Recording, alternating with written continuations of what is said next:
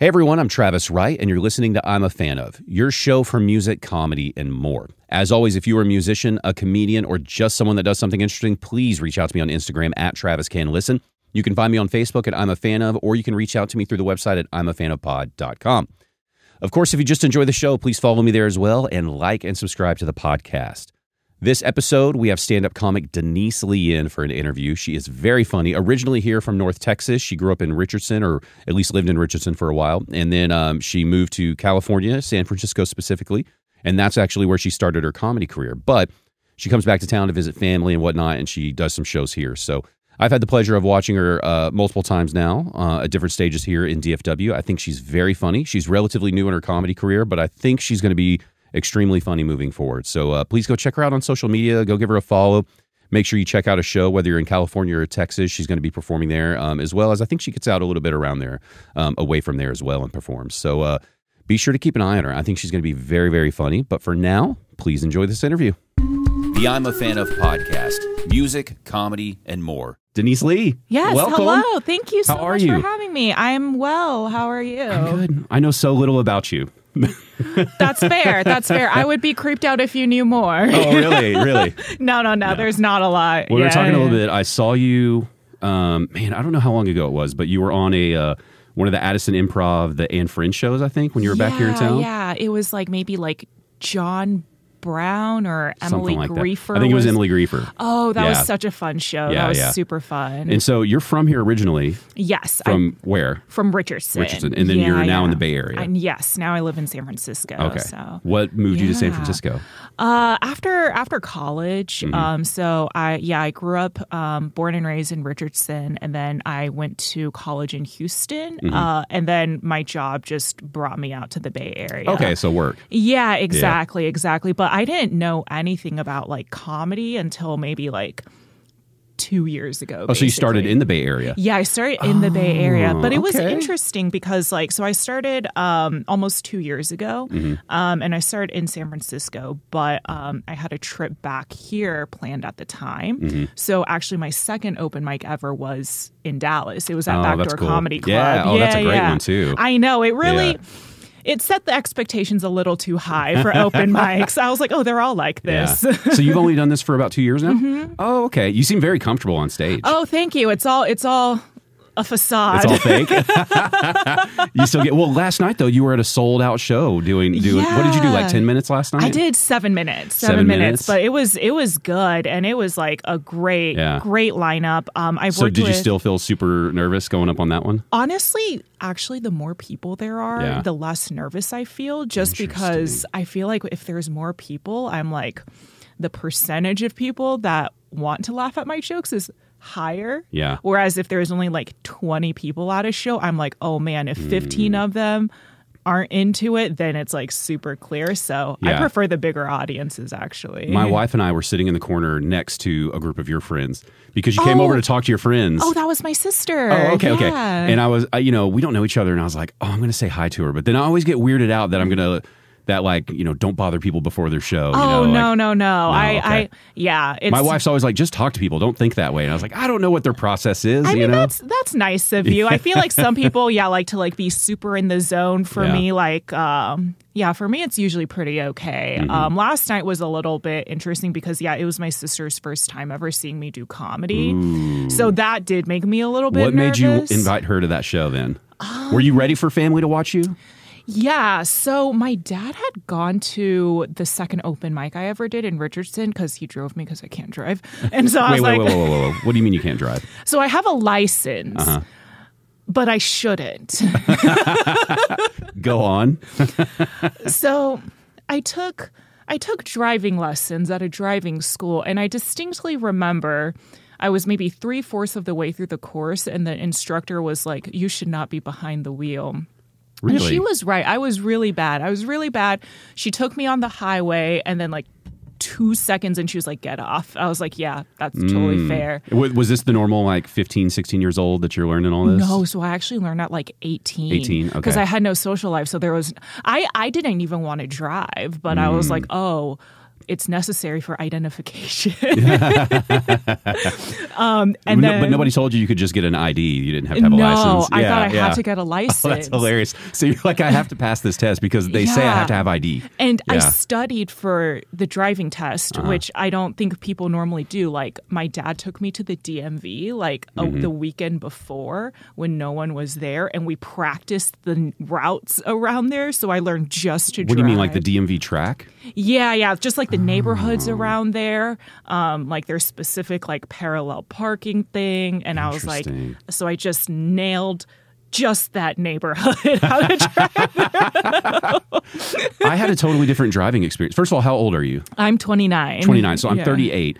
And uh, I had a totally different driving experience. I grew up in a really small town, Uh-huh. and I got my learner's permit at 15. Oh wow. And um, you know, we didn't have any cops out there, Yeah, so yeah. we were just like driving all the time. Oh. And uh, since there's no police out there, it's like when I was probably like 12 or 13, Yeah. we already kind of started driving our parents' cars with our parents in it. That's so brave. And then I don't I don't know what they do now, but we had a um, we had the option. Like I didn't take any driving classes. Mm-hmm. I didn't take a DMV test. oh, it just came to you naturally. Well, no, no, no. Like we had this other thing where they're like they gave you a log and they were like, yeah, your parents will teach you, and y'all just check off what you did. And that was it. So I didn't have to. I did a written driver's test, Yeah. but I didn't actually have to actually prove that I could drive anyone. Oh, that's so interesting. But I know that if I had to, even though I felt like I could drive well, Yeah. well enough anyway for like a Yeah. 16 year old, I think I would be terrified to be in front of an instructor driving. yeah, yeah, yeah. It's like driving in front of a cop when you've had a couple beers, you know? Like you're a little, you're a little worried, like, oh God, I'm going to ruin my life. exactly, exactly. And like I was already like not wanting to drive. I was like, I have nowhere to go. This is unnecessary. Mm. So I was just like, yeah, the instructor wasn't into it. I wasn't into it, and it was all good. Wow. So how Yeah. did how did the test actually go? It went well. I aced it because Yeah. I practiced the route before. Okay, okay, okay. but I'm a great theoretical driver. I I aced the driving test. I can tell you exactly how to do it. Exactly. I was like, I can memorize every all the rules. I just can't execute. What do you feel like makes you so bad at driving? What is it? I think it's the lack of confidence. Actually, it's a persistent theme through my life. But give me Um, an, give me an example though. When you're driving, what are you doing that makes you a bad driver? so I do not know how to merge. Okay, that's a very important one. That's an important one. I know, and I'm like, So the highway's terrifying. oh, haven't driven on the highway since driving classes. Really? But even on normal roads, like I. I can drive and I'll drive out here if I have to, but I will pick like off peak hours when I oh, don't really have to change lanes Oh, Yeah. or try and merge. So I just like get too nervous. It's like kind of like when you're talking to someone and you're like, or like you don't want to like interrupt something that they're saying, but you're trying to find like the the right place to do it. This is how you feel about the merge. Yes. Oh my God. I overthink it way too much. So when you're a passenger, are you equally as terrified? Oh no, I just I just ignore. You're good to go. Yeah. Because I'm a very confident driver. Like I'm one of those where it's like I know how much room I have, and I'm very just like I'll merge right in You will front of you, and we're good to go. Yeah. And uh, I would I worry that that uh, I don't know. I'm probably a little bit of a jerk driver. Like I don't cut people off. Yeah. But I just I'm one of those where it's like if neither of us are making a move, we're gonna get into an accident. Yeah. So. I'm gonna make the move. You know? assert yourself. Yeah, yeah, yeah, yeah, yeah. yeah, yeah. I'm very passive. I'm like, you know, Interesting. I'm like, you know what? You're right. You should keep. You should going. go.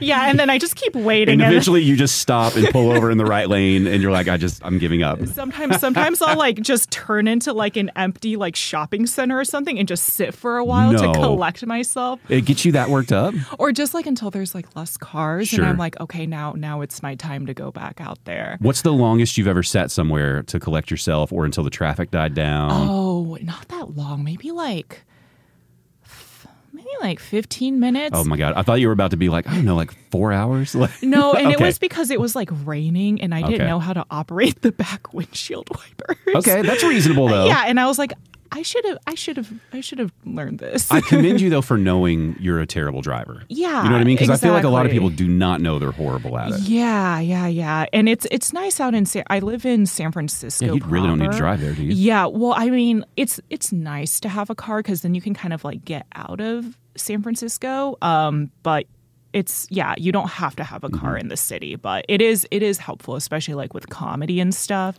It's easier Yeah. to get around. Was that did that help sway your decision to move out there? The fact that like, oh, I don't need to rely on a car as much. Yeah. Oh, 'Cause your, 100 your percent. Uber bills and everything have to be ridiculous uh, around here. They're all right. My dad drives me. Okay. Is that who dropped you off today? Yeah. No way. We had dinner before this, oh, and I was and like, "You didn't introduce me to." oh God, no! I was Why like, not? no one should. No one. I was like, no one should see this. Well, good thing you didn't come on a podcast and tell everyone. First of all, how sweet of a dad to I drive you know. I bet he loves it though, right? He really does. Earlier today, we were driving to dinner. So we got dinner with my sister um, and my brother in law and my niece. Um, and we were driving to dinner, and he was like, I just love driving with you. And I was completely silent the whole That's so ride. funny. And I was like, I'm not doing anything. Yeah. But I think from his perspective, it's more of like a safety thing because he was like, I would Mm. rather like go out of my way to drive her than like think about whether our minivan is going to get wrecked tonight. Oh, yeah, that's true. That's true. Yeah. Well, and like the Yeah, little bit you talked about your family and your stand up, it's like I get the sense that it's a tight family. It's a tight family. Um, I think uh, it's definitely gotten like more tight knit like through the years, Mm-hmm. um, especially.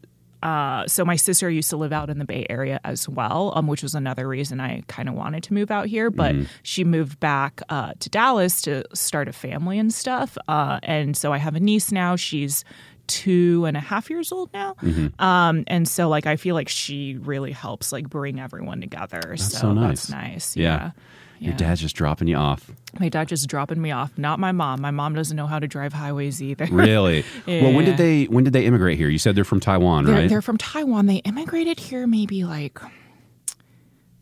35 years ago or oh, so. oh wow, okay. So how old do you think she would have been? Do you know? Oh my gosh. I think she was maybe like 30, like 30. just a little bit older than I am now, which is insane to Yeah. me because, yeah. I just had this guy uh, Alfred Kainga on here. He immigrated from Zimbabwe, Oh, cool. and uh, but that's like an English speaking.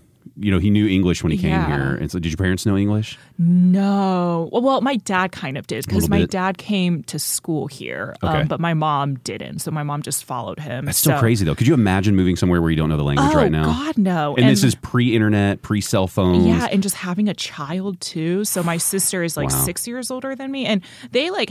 I think they were here for maybe like two years before they had her, but still, I'm like, yeah. I can't imagine nuts. that. Yeah, but my dad speaks English like fairly well, but my mom speaks like almost no English. I think it's also a Yeah. confidence thing where like she knows more English than she thinks she does. Is she one of those where she understands a ton of it, but she's just not great at speaking I don't it? even Or know if she understands a lot of hmm. it. She definitely understands like basics. Yeah. Um, but kind of like um like in one of my jokes I talk about how she like doesn't Yeah, know yeah, what that's I'm what I was talking thinking about of, yeah. At all. Yeah, it's like she couldn't under she wouldn't be able to like really understand like stand up comedy. Mm. Yeah. You know, so um so so yeah. interesting. Yeah, yeah, yeah. Does she like living here, not knowing the language very well? So it's interesting because there's actually a huge Taiwanese population Mm-hmm. um, in the Dallas area. So she really likes it because she can honestly like get by like most of her life like Wow. without knowing any English. When you say Dallas, though, are you talking more Richardson or just Richardson Plano area. Richardson Plano is like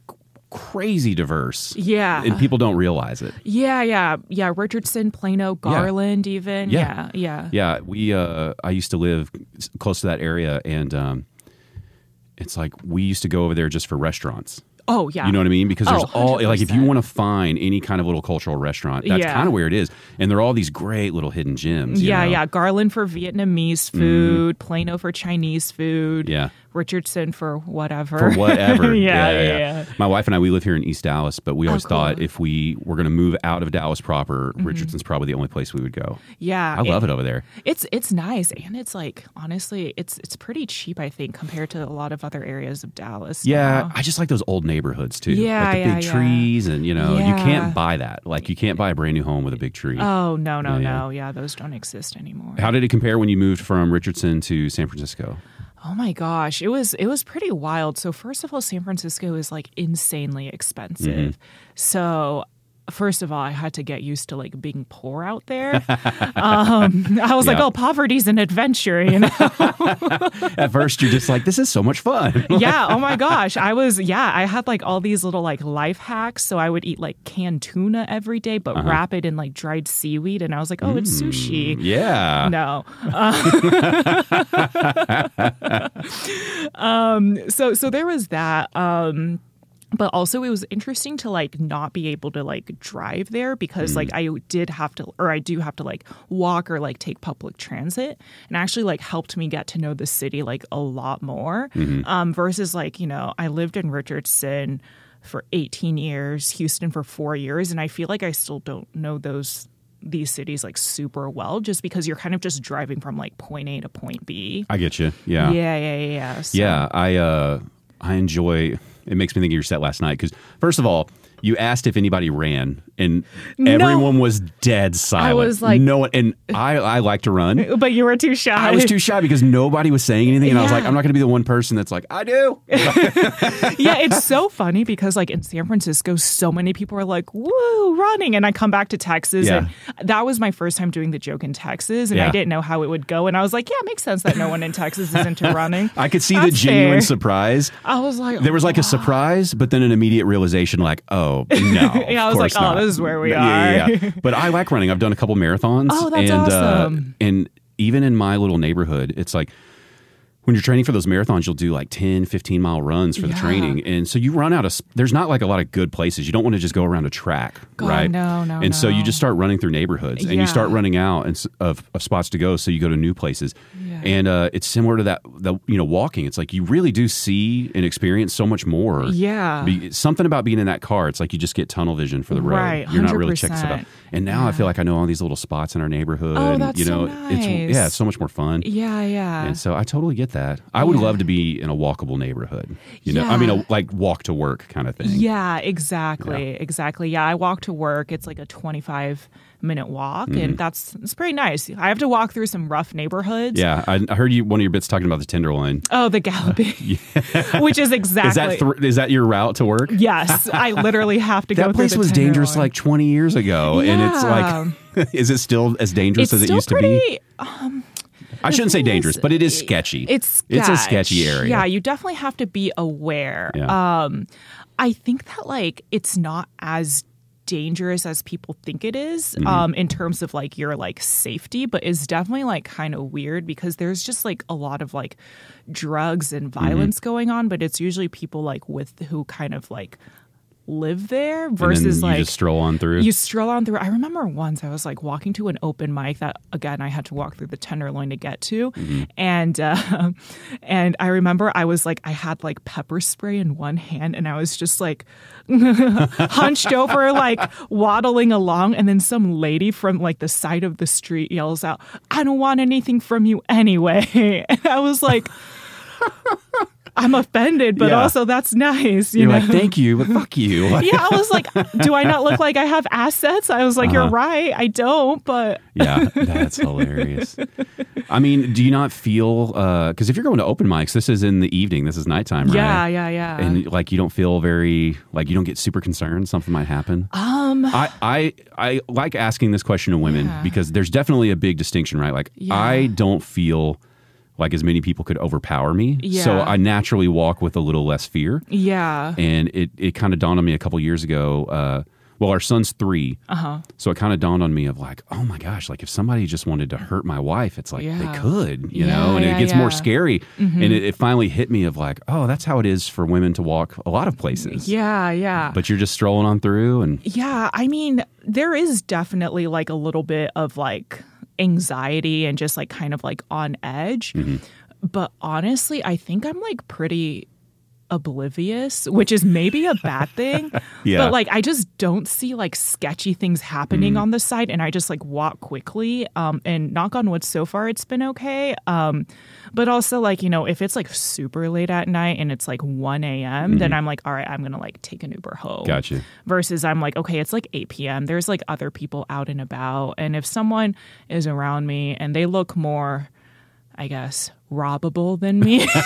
You're like, you just walk first. yeah, yeah. That's the other thing too. I like, even though that lady did offend me, I was like, I really don't look like there's a lot you could take from me. I was like, you could take my phone. Yeah. But I'm like, it's not a lot of bang for your buck. I'm like, you might as well go for someone else. you got to work on like a crazy face. You know what I mean? yeah. You got to yeah, work on something. Uh, I used to live in a rough neighborhood. Um, it's like when I realized an apartment could be too cheap. Yeah. oh, 100%. I had this two bedroom, two bathroom apartment here in Dallas. It was off. oh, luxury. It was off. Well, it was off of. Uh, near like Greenville Avenue and 635. Okay. But it, in, but there's a little side street called Markville. I don't know what it's Uh-huh. like now, but back then it was like sketchy all the Uh-huh. time. And um, there was this RaceTrac gas station. At the time, I was waiting tables.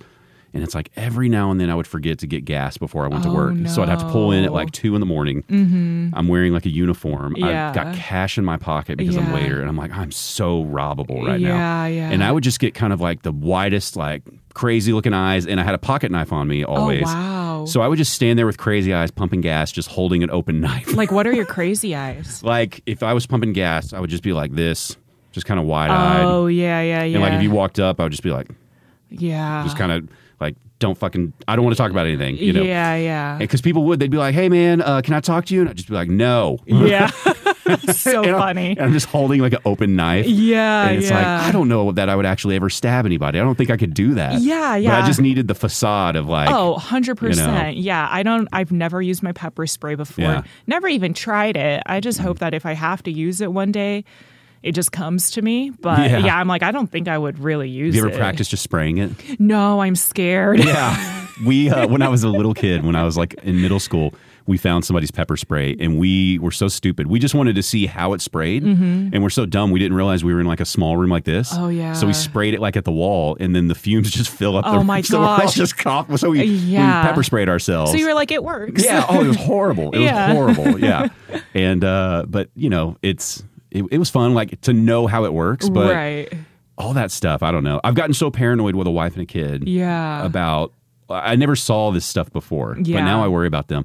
And now I I've shifted to like uh, I don't want to ever have to defend anything. It's Yeah. like let's just avoid the problem. You know? exactly, exactly. Yeah. Mm-hmm. That's kind of how like my dad's philosophy is where he's like if it's like a dangerous night to like go out, just don't go out. I like your dad. I feel like we'd get along. Yeah. Oh, oh, 100%. 100%. yeah.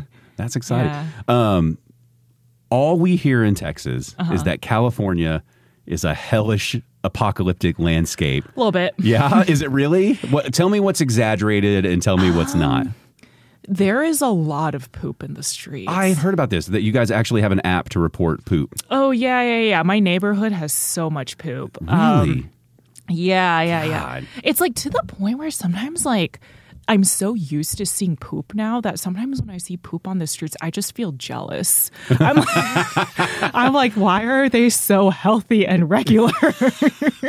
why am I not? you need to get on that homeless diet. I was like, what are they eating? Yeah. I was like, that is so much fiber, whatever it is. Um, oh my gosh. So That much though. Have you okay it's not like all the time, but there Yeah. are like enough to where you're like, Jesus, this is a lot of poop. yeah, I'm just like, that is impressive. I'm like that, yeah, I'm like that needs a modern toilet to flush down. Mm, um uh, a lot of needles everywhere, like Mm-hmm. drug problem is drug usage is I think like a big problem. Um, I don't know. What else what else do people say about California? Uh, well, I mean, I, you, those are kind of the big heavy hitters. Just the homeless problem, needles, you know, public defecation, that kind of stuff. Uh, you talked about being poor; everything's just too expensive out Yeah. there. But it, it kind of makes me sad to know that that is happening in San Francisco because. Like I grew up, we were watching like Full House. Oh, and it's like San yeah. Francisco's like this beautiful place in California. Yeah. And I went probably in 2000. Last time I was there was probably like 2005 or six. Yeah. And uh, there was nothing really like that. It was a beautiful city. Yeah. Mm-hmm. And it's hard for me to imagine that it's like that. But I also, you know, it's like you're here in Texas. You don't know what's exaggerated because people here are like, don't California my Texas and all that. Well, also there's like different neighborhoods Mm-hmm. in San Francisco too. It's almost like little micro cities. Mm-hmm. So there's definitely still neighborhoods in San Francisco that are super nice. Um, but those are unattainable now, right? Like crazy oh, super expensive. unattainable in terms of like who can live there. But like I feel like if you're like a tourist visiting San Francisco, if you stick to like certain neighborhoods, you could really like go a whole trip without like seeing like any of like Mm. the other stuff. yeah. Um, well, how do you feel as somebody who lives there now? Like to you, is it like, I love it here. I don't care about this stuff, or does it bother you? Um, honest, it bothers me a little bit, but I kind of understand it. Like, I think it's more of like a, I, I think it's like, it points to like a bigger like societal problem, right? Like, there's just like such a big like gap mm-hmm. in wealth Um, and I think it's like, you know, like it's definitely not ideal, but it definitely shows like, hey, like this is actually like a bigger problem that like the government like needs to address or like we need to do something about. Mm-hmm. Um, so it's more like thinking about like that larger like structural change versus like, ah, like I'm annoyed at like these Yeah. individual people. Um, I think that, like the thing for me is like I like San Francisco, but um, it's a very like transient city. Like I feel like not a lot of people settle down there. Right. Um, it's definitely harder now knowing how yeah. real estate is there. Yeah. Mm-hmm. A lot of people come try it for a few years and it, you just can't afford anything. Yeah, hundred percent. Um, and I think especially people who are like interested in like pursuing comedy like Mm-hmm. longer term, a lot of people will start in the Bay Area, um, but they very they'll move to like LA or New York afterwards. So like the Bay Area has kind of always been like a launching pad. Hmm. Um, from like a comedy perspective Mm-hmm. versus like oh this is somewhere like i settle down um and i think like the people who do settle down they've rarely settled down like in the city like they'll usually go out to like east bay or Mm-hmm. south bay um like oakland san jose like those types of areas uh where Yeah. it's a little bit cheaper So, in terms of the comedy scene, are you? How many clubs are there? Um there in the city itself there are two major clubs Okay. Um, so that's actually something really interesting about like the difference um, between comedy in San Francisco and Dallas too. Like I feel like Dallas is like very like club heavy, Mm-hmm. um, and San Francisco it's almost all independent shows. That's what I was going to ask you about. Yeah. And there's like two major clubs, um, and those are like you know like big clubs, like touring like headliners and Mm-hmm. stuff go there. So So, are those clubs very obtainable? Like here, we have a lot of you know um, open mics through the clubs Mm-hmm. that are run by comics that work at those clubs. So there's a pathway into those clubs. It may be harder. Are those clubs that way in your scene, or I don't think they're as accessible in terms of like you know there's an open mic and then you can like you know very quickly like get on like a showcase or something like that um in San Francisco, uh, the Punchline is like one of the big clubs, and there is a path to basically like get passed, which means you can like work the club right. But it's like this whole process where basically like every Sunday they have a showcase, and as a comic, you basically just show up and hope to get picked. And the way you it's get like, is it like a raffle? No, so the way you get picked is based off of your attendance. So you basically have to go every Sunday for like six months, and Oh. Then they put you up. And then if you do well, then you can go up in another three months, Hmm. and you just keep doing that for like the average. I think is maybe like four to five years, Mm-hmm. And then you can like get passed at the club, and then you can work like the two big clubs. in Interesting. So they really want you to put a lot of time in. yeah, yeah, yeah. It's definitely like a they want to see that you're like dedicated. to Yeah, it. I get mixed feelings about that, right? Because Yeah. it's it's so hard to be able to dedicate that kind of time when you're not seeing progress. yeah, But it definitely weeds people out. Yeah, definitely. And I, I struggle with that too, just from the perspective of like like I know I need to like put in my dues and just like spend time there versus like if that same night I have like the opportunity to do a show somewhere else that's not a club, I'm like, do I take the show where I can like continue to like get better? Yeah. Or do I just like go and kind of like, you know, kind of invest my time in that? So What do you like doing better? Do you like doing the Um, more of the indie indie shows? I do like the indie shows a lot, um, mostly because I think like the types of audiences you get are like more diverse, um, and I feel like people who like go to a comedy club have like certain expectations, and I love just like meeting people like at shows who have just like never gone to a comedy show before. Or sometimes it's like the show's at like a restaurant and some unsuspecting victim shows up, but then they enjoy it. I just it. came here for a nice dinner. I Yeah. didn't know I was going to have to listen to this. Right yeah. and then it's like oh they found comedy and that's super cool Yeah. um but i i kind of get it and i think i think it's i think it's like kind of brutal but i i do see like like every single comedian who's Mm-hmm. kind of like risen out of the bay area has gone through that process so i respect it Yeah. I uh one of the things I want to do is to kind of understand these different scenes better. I would love to I don't I'm not able to right now, but I would love to take you know, a good road trip where you spend like a week or two in each scene and just watch Mm-hmm. Oh, yeah. multiple nights at different clubs and just kind of see how stuff functions because they're all so different. you know, Yeah, and yeah. I want to see the clubs. The clubs Yeah. are all so unique. You know. Oh yeah, even in San Francisco, like the two major clubs are like super different from Mm-hmm. each other. Like the Punchline is like very like small and like intimate, Mm-hmm. and Cobb's, which is the other big club, is like huge. It's like two levels, like Mm. seats like a couple hundred people. Two levels though. Yeah, that's kind of cool that it's like a medium-sized venue, but it's two levels. So it's like a mini theater. A little bit, a little bit, but it's still like tables, like you would Yeah, see yeah. like at like hyenas. But like when you're on the second level, are you like really close to the stage still? No, you're Okay, kind you're- of like further back. Okay, yeah, I got yeah, you. Yeah. I got you. Yeah, yeah. So so it's interesting. It's also interesting to see like the different like social dynamics as well. Mm-hmm. Um, which is why I like love coming back to Dallas just because I'm like, oh, it's like very it's like honestly a little bit refreshing compared to like San Francisco, you know, Mm-hmm. just uh, and I don't know if it's because like I'm visiting, but I'm like I feel like people here are just like so friendly. I hear that a lot. I mean, Yeah. we a lot of people are moving here now, and I think we weird out a lot of people. Like how easily we say like you know uh, like. If I just walking into the grocery store and I just catch a glance with someone, it's Yeah. usually just like, "Hey, how's it going?" Like, you Yeah, know, exactly. And um, you can tell who hasn't lived here for a while because they're a little weirded out. You know, they're a Mm-hmm. yeah, little like, "Why are you talking and to they're me?" like, "Why are you hitting on me?" Exactly, and you're yeah, just like, yeah. "I'm just trying to be a decent human." Oh human my being." god! And especially me, like I enjoy podcasting and meeting people, so I can talk to almost anyone. Right. And uh, it, yeah, I can tell it's a little in their eyes. It's like more aggressive. Yeah, You know? yeah, yeah. it's like I swear, like I'm married. I'm not hitting on you. It's like, Yeah. that's what you would say if you were hitting on me. yeah, yeah. And you're like, I'm genuinely interested in you as Yeah, a human. yeah, yeah. And they're just shocked. Yeah, Texas is weird because we are very, very friendly.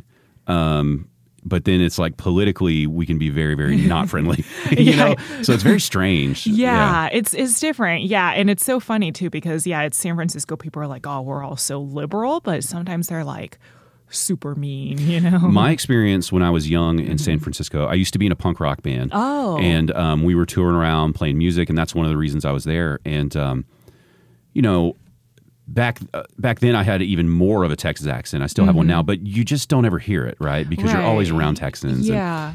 And, uh, I remember when I was asking for stuff, people were being really like smart asses about Uh-huh. my like you know like I was wanting to watch the uh, the famous trolley, Yeah, right, and right. Uh, I walked up and I was like, "Hey, do you guys know if the trolley's fixing to come?" And they're like, "Fixing to come," and I was like, "Yeah, yeah, the trolley. I'd love to see it." And they're like, "No, no, we understood, but like it's not broken." And I was Yeah. like, and I was like, "Oh, fixin'." Oh, yeah. That You're was- like, there's no G. yeah, yeah, and they're like, "It's about to come," and I was like, "Cool, fuck you." Like, you yeah. know? You're like, yeah. it was stuff like that where Yeah. uh, and again that wasn't everybody but um, i was just like oh yeah it's not this is not texas right now Right. Yeah. Exactly. Exactly. but once i got past that it felt like it was a very friendly city you know it was cool yeah, yeah. I feel like most cities, right? You have like the friendly people versus like the Yeah. unfriendly people. You just got to kind of focus on. well because like, even here in people. dallas we have all the pretentious assholes around Yeah, here too. And like, definitely. Jesus. yeah, Yeah. you just got to focus your efforts on like the people who are good. Mm-hmm. yeah. what's your favorite part about san francisco Oh, the hesitation. That's not good. yeah I, Um, I will say that i love uh, california like we went to big sur Oh, and i Big Sur feel is like and i know that's totally different than where you're at Yeah. but I was like, Jesus, I could retire here. It's so beautiful. Oh, I was like, so I need to find a work. I need to find something that I can do remotely. Yeah. and just live out here. Yeah. like the that's what California has. Is it's so scenic and beautiful in so many places. Yeah, yeah. And you know, like we drove, like because we flew into uh, San Francisco and then we drove south to Big Sur, and then Oh, uh, that's what else is down over there? Monterey, Monterey, yeah. Santa Cruz. Yeah, you know, we just kind of did that little trip, and you're just like, it's all a little different, and it's all fucking beautiful. Oh my gosh, beautiful. it's amazing. Yeah. you know, to know that we went from um, like those beautiful tall trees in San Right, Francisco to like the uh, beautiful cliffs in Big Sur, and then we're down looking at whales and you know sea lions and stuff. oh, it's gorgeous. gorgeous. Yeah. And so it's like, God, I want to live there, and then um, I don't want to live there at all. Yeah. you know what I mean? Uh, it's amazing to visit. Yeah. Amazing to visit. Yeah. Yeah. I think the nature is definitely like a big thing for me. Like even in the city, like all the parks and Mm-hmm. everything. Like I love just like taking walks through the park and just kind of like thinking and like, you know, Mm-hmm. trying to like, you know, get ideas for like writing and stuff. And then yeah, like Big Sur, love Big Sur. And then if you go east, there's like Tahoe. Um, Mm-hmm. up north, like Mendocino, where you can go hiking. Um, yeah, it's all amazing. I mean, that's where it's at. I, Yeah. and I love the values that California has. Like when they, when you on paper talk about how you just really want to help all these people, and and it's just like I agree with all of that. I just feel like it's all being implemented so poorly, and I don't have any ideas of how to do it better. Yeah, exactly. You know what I mean? It's oh, like I- 100%. It's like, man, you guys have this huge problem. You say you want to fix it, but it's getting worse, and it's, Yeah. but I don't know how to fix it either. yeah. And uh, and we're starting to feel some of those same effects here in Texas. Really? Yeah, we're just we're going to be further behind. Yeah. but like you know, here in Dallas, it's like our homeless population is rising. I mean, it's going up and up and up. Same in Austin too. I've Yeah. heard, especially oh, with I would say Austin's ahead of us for sure. Yeah. Because we're starting to do more of the um, uh, what do they call it? It's like aggressive architecture. Where like under bridges, instead of just having the dirt that's normally in there, you put like giant uncomfortable rocks so people can't Oh, sleep. I see. I see. And like your bus stop benches are no longer a bench; it's got the rails, Uh, so that you can't yeah. lay on it. Those types of things, Yeah. and uh, and that's because you know it's it's just getting more. And it, what do you do though? You can't just bust them away. right. Exactly. Yeah. They're people. Yeah, Yeah. I feel like the, as a state, at least, maybe even as a country, it's like we're in this zone where it's like we don't want any of these people here, but we also don't want to invest in anything to change the situation. Right. Exactly. So- yeah. I don't know. I think Texas is going to start feeling it over the next couple of years. Yeah, definitely. I think it's probably like across the nation Yeah. too, just as like, you know, the economy is kind of like Yeah. going downhill. I was like, I don't know a lot about it. I just know it's not good. And I'm like, I know like everyone's like really feeling it. So if you're already kind of in like a vulnerable population. Yeah. Well, Yeah. and just, I mean, when you start doing the math on most people's finances, you realize that you're a couple of either bad decisions or just bad luck. You're a couple of those away from being homeless. Yeah. You know, you're really like, you don't have the big safety net that you think you have. Mm-hmm. Yeah. It's like if your job decides to shut down and you can't afford your mortgage, Right. That's it. Yeah. You know, how long can you survive? Yeah. Three, four months, most people, maybe. yeah. Like we're all functioning off of a lot of luck. Yeah, exactly. Yeah. Exactly. Yeah. So I do, I feel bad. It's like when you hear about LA and there's like 70,000 homeless people. It's Yeah. like, how do you even begin to, you know, change that? Right. So I don't know. But I do love California and I hate when people talk so much shit about it because it's like, Yeah. Uh, you don't like California politics, but California is pretty awesome. Yeah. It's okay. In California, people talk shit about Texas. Oh, I know. so Yeah, I know. It's equal. Yeah, Texas is definitely like if you tell anyone about Texas, you know you're immediately going to get shit for it. yeah yeah yeah one of my one of the jokes i have in like my normal set Yeah. involves like i'm from a third world country called texas and i cannot do that joke in Oh, no. texas oh god no You should try. You should I- see if you could get it out there. i've tried i did it once just like on accident Yeah. at plano house of comedy it was okay, like, and that's definitely a more conservative crowd up there because it's further north and and yeah. it just like I was on autopilot that night and it just came out and as soon as I said it like I think I looked as baffled as the audience and no I was laughs. like it was like nervous chuckles and I was like I feel that too.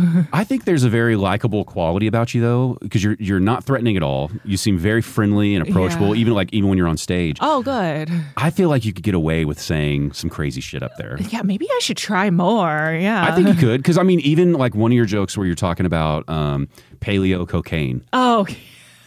yeah. Just looking at you, I wouldn't think I was going to hear about paleo and keto cocaine. yeah, yeah. Mostly coke. Yeah, no one no one suspects cocaine But I love it. It's like that's what I want that left turn when I'm watching. Yeah, I really like that. Oh, good. Yeah, yeah. And then, uh, oh man, I'm trying to think of your bits right now. But anyway, Costco card. yeah, That's yeah, one of my favorite ones. I right think now. you could lean heavy into that stuff. Yeah, because yeah, you have a very likable presence where people.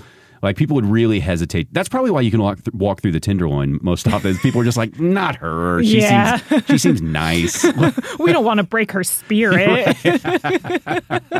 we'll go for someone else who's already broken. Have you talked about first of all the elephant in the room about the bad driving and being Asian? Is that just? Um. Have you talked about any of that on stage? Any of the driving stuff? Not Not even from the Asian angle, but just any of the bad driving.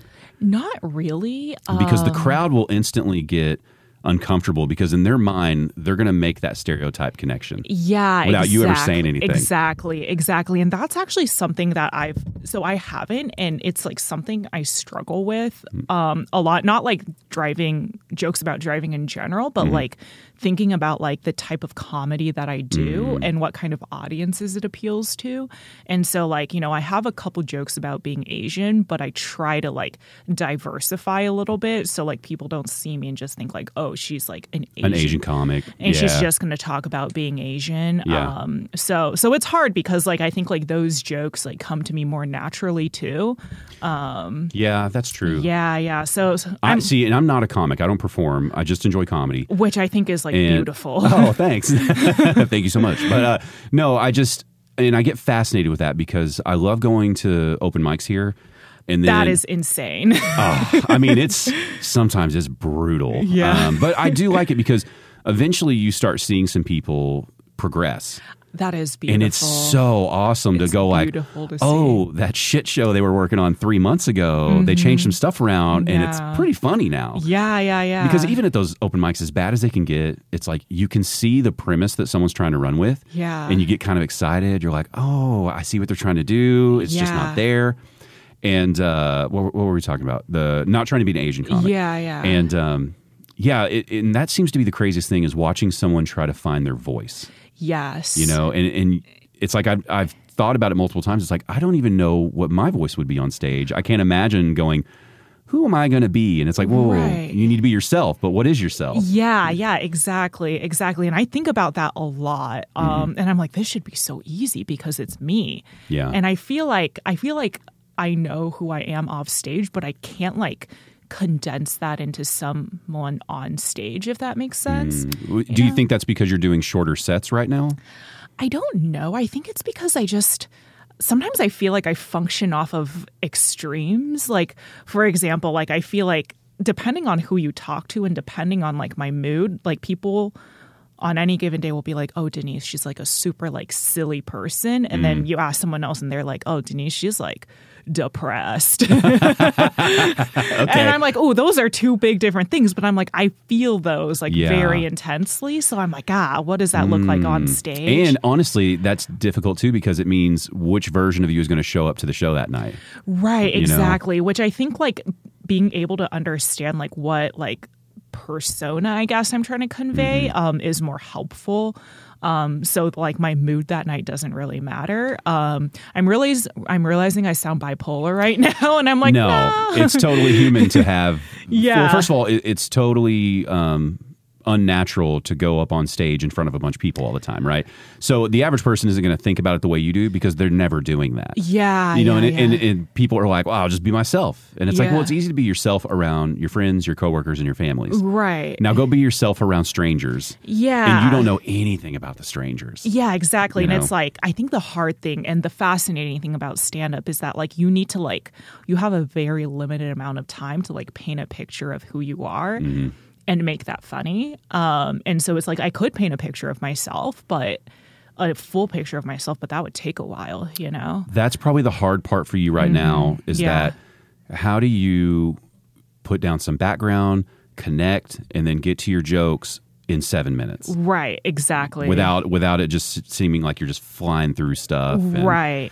Yeah. Yeah. That's difficult. it's it's difficult and i think like um you know i'm coming up on two years now i feel like this past year like i've really tried to like explore more about like different angles of you know how i want to present myself so like i had a phase like last last fall where i was like trying like a lot of jokes about around like being anxious or like having like experienced depression in the past and i was like I don't really like this. Just in terms of like, I was like, it's not fun for me to talk about. So like right now, I'm kind of in like, let me like talk about things that are just like more fun to me and like more like whimsical and silly. You know, that seems like a great way to go yeah. because because of the sh- the time constraint you have. Yeah. Right. I, I think about uh you know my background's in music and I think about the, that as the same way I think about like albums. Mm-hmm. It's like most artists when they put out their first album, you can't get into like deep music yet. It's too heavy for people, right? Yeah, exactly. It's like you have to have these kind of easier, more digestible hits.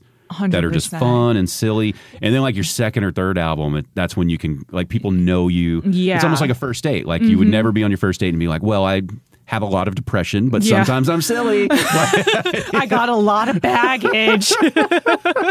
yeah, even though the average person has all that same shit. right. So it, it's extremely relatable, but it's like, how do you get it out there without just coming on stage and just be like, "So, sometimes I'm crazy and sometimes I'm depressed. Yeah. We don't know who we have tonight. Who do we have? I don't know. And Yeah. then I think, and then I think the second challenge too is like, how do you make like these heavy topics like funny?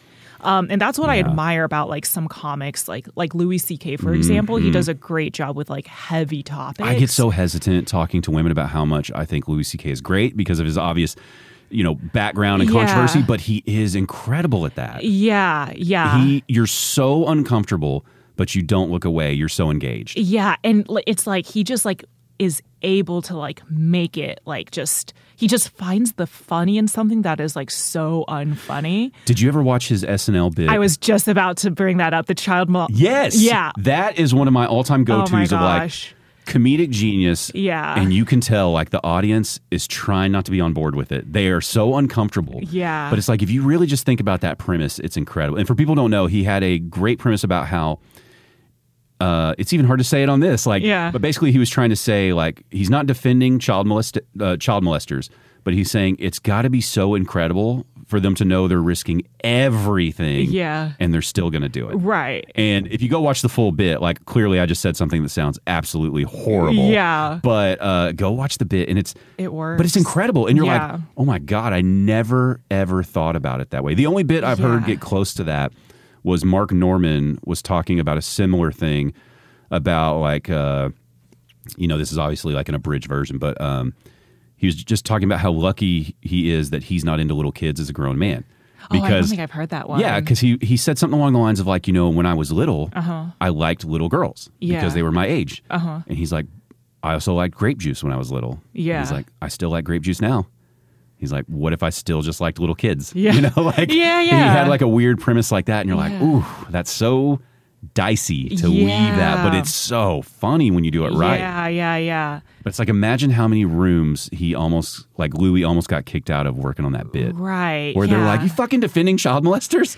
right and i'm just like that's i'm just like wow like to be able to like Yeah. take that i think that's like what makes someone like great I'm glad to see he's coming back because I think he is one of the greatest of all time. a hundred percent did you watch his new special Um, I watched the last thing I watched was he didn't call it a special; he called it like a live stream the from madison, Square Garden. so good That was incredible. that was incredible and um, oh god, I forgot her name, but the female opener for him. oh my gosh she was amazing the one who was talking about how um. Black people or serial killers have done more for black people than Martin Luther King Jr. Yeah, that bit, yeah, yeah. so good. she was amazing I can't remember her name. But i can't either I'll have to find it Um, later. But uh, yeah, it's like yeah she to me embodied that kind of like New York style of comedy mm-hmm. where you just fucking go for it. And. Yeah. You don't care. Like she had that attitude of like, I don't give a shit what you think about what I'm about to say. Um, it was incredible. Yeah, yeah, yeah. it's amazing you should watch his new special I need to, Um, yeah. Well, he does everything on his website now. Yeah. So I forget to go like, I, I don't mind giving him money for it. I just forget Yeah. to do it. Yeah, Yeah. yeah, you should definitely do it. Um, it's really cool because it's like um, there's the Madison Square Garden thing Mm-hmm. that you watched live, um, and then his special. A lot of it is from that set, but Okay.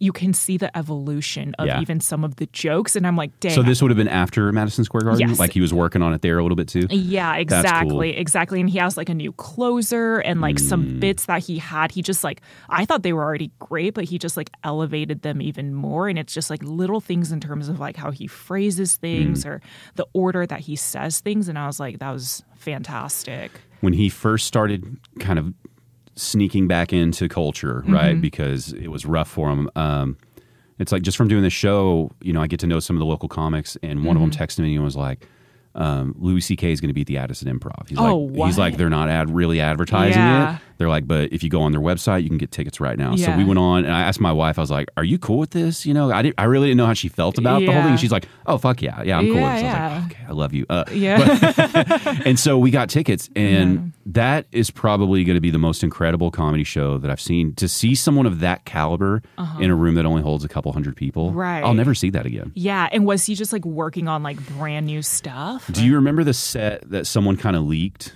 and he got in a bunch of trouble because i can't remember what he was making fun of. Um, you know he was working on a set somewhere like maybe like the comedy cellar or something like a smaller club like that.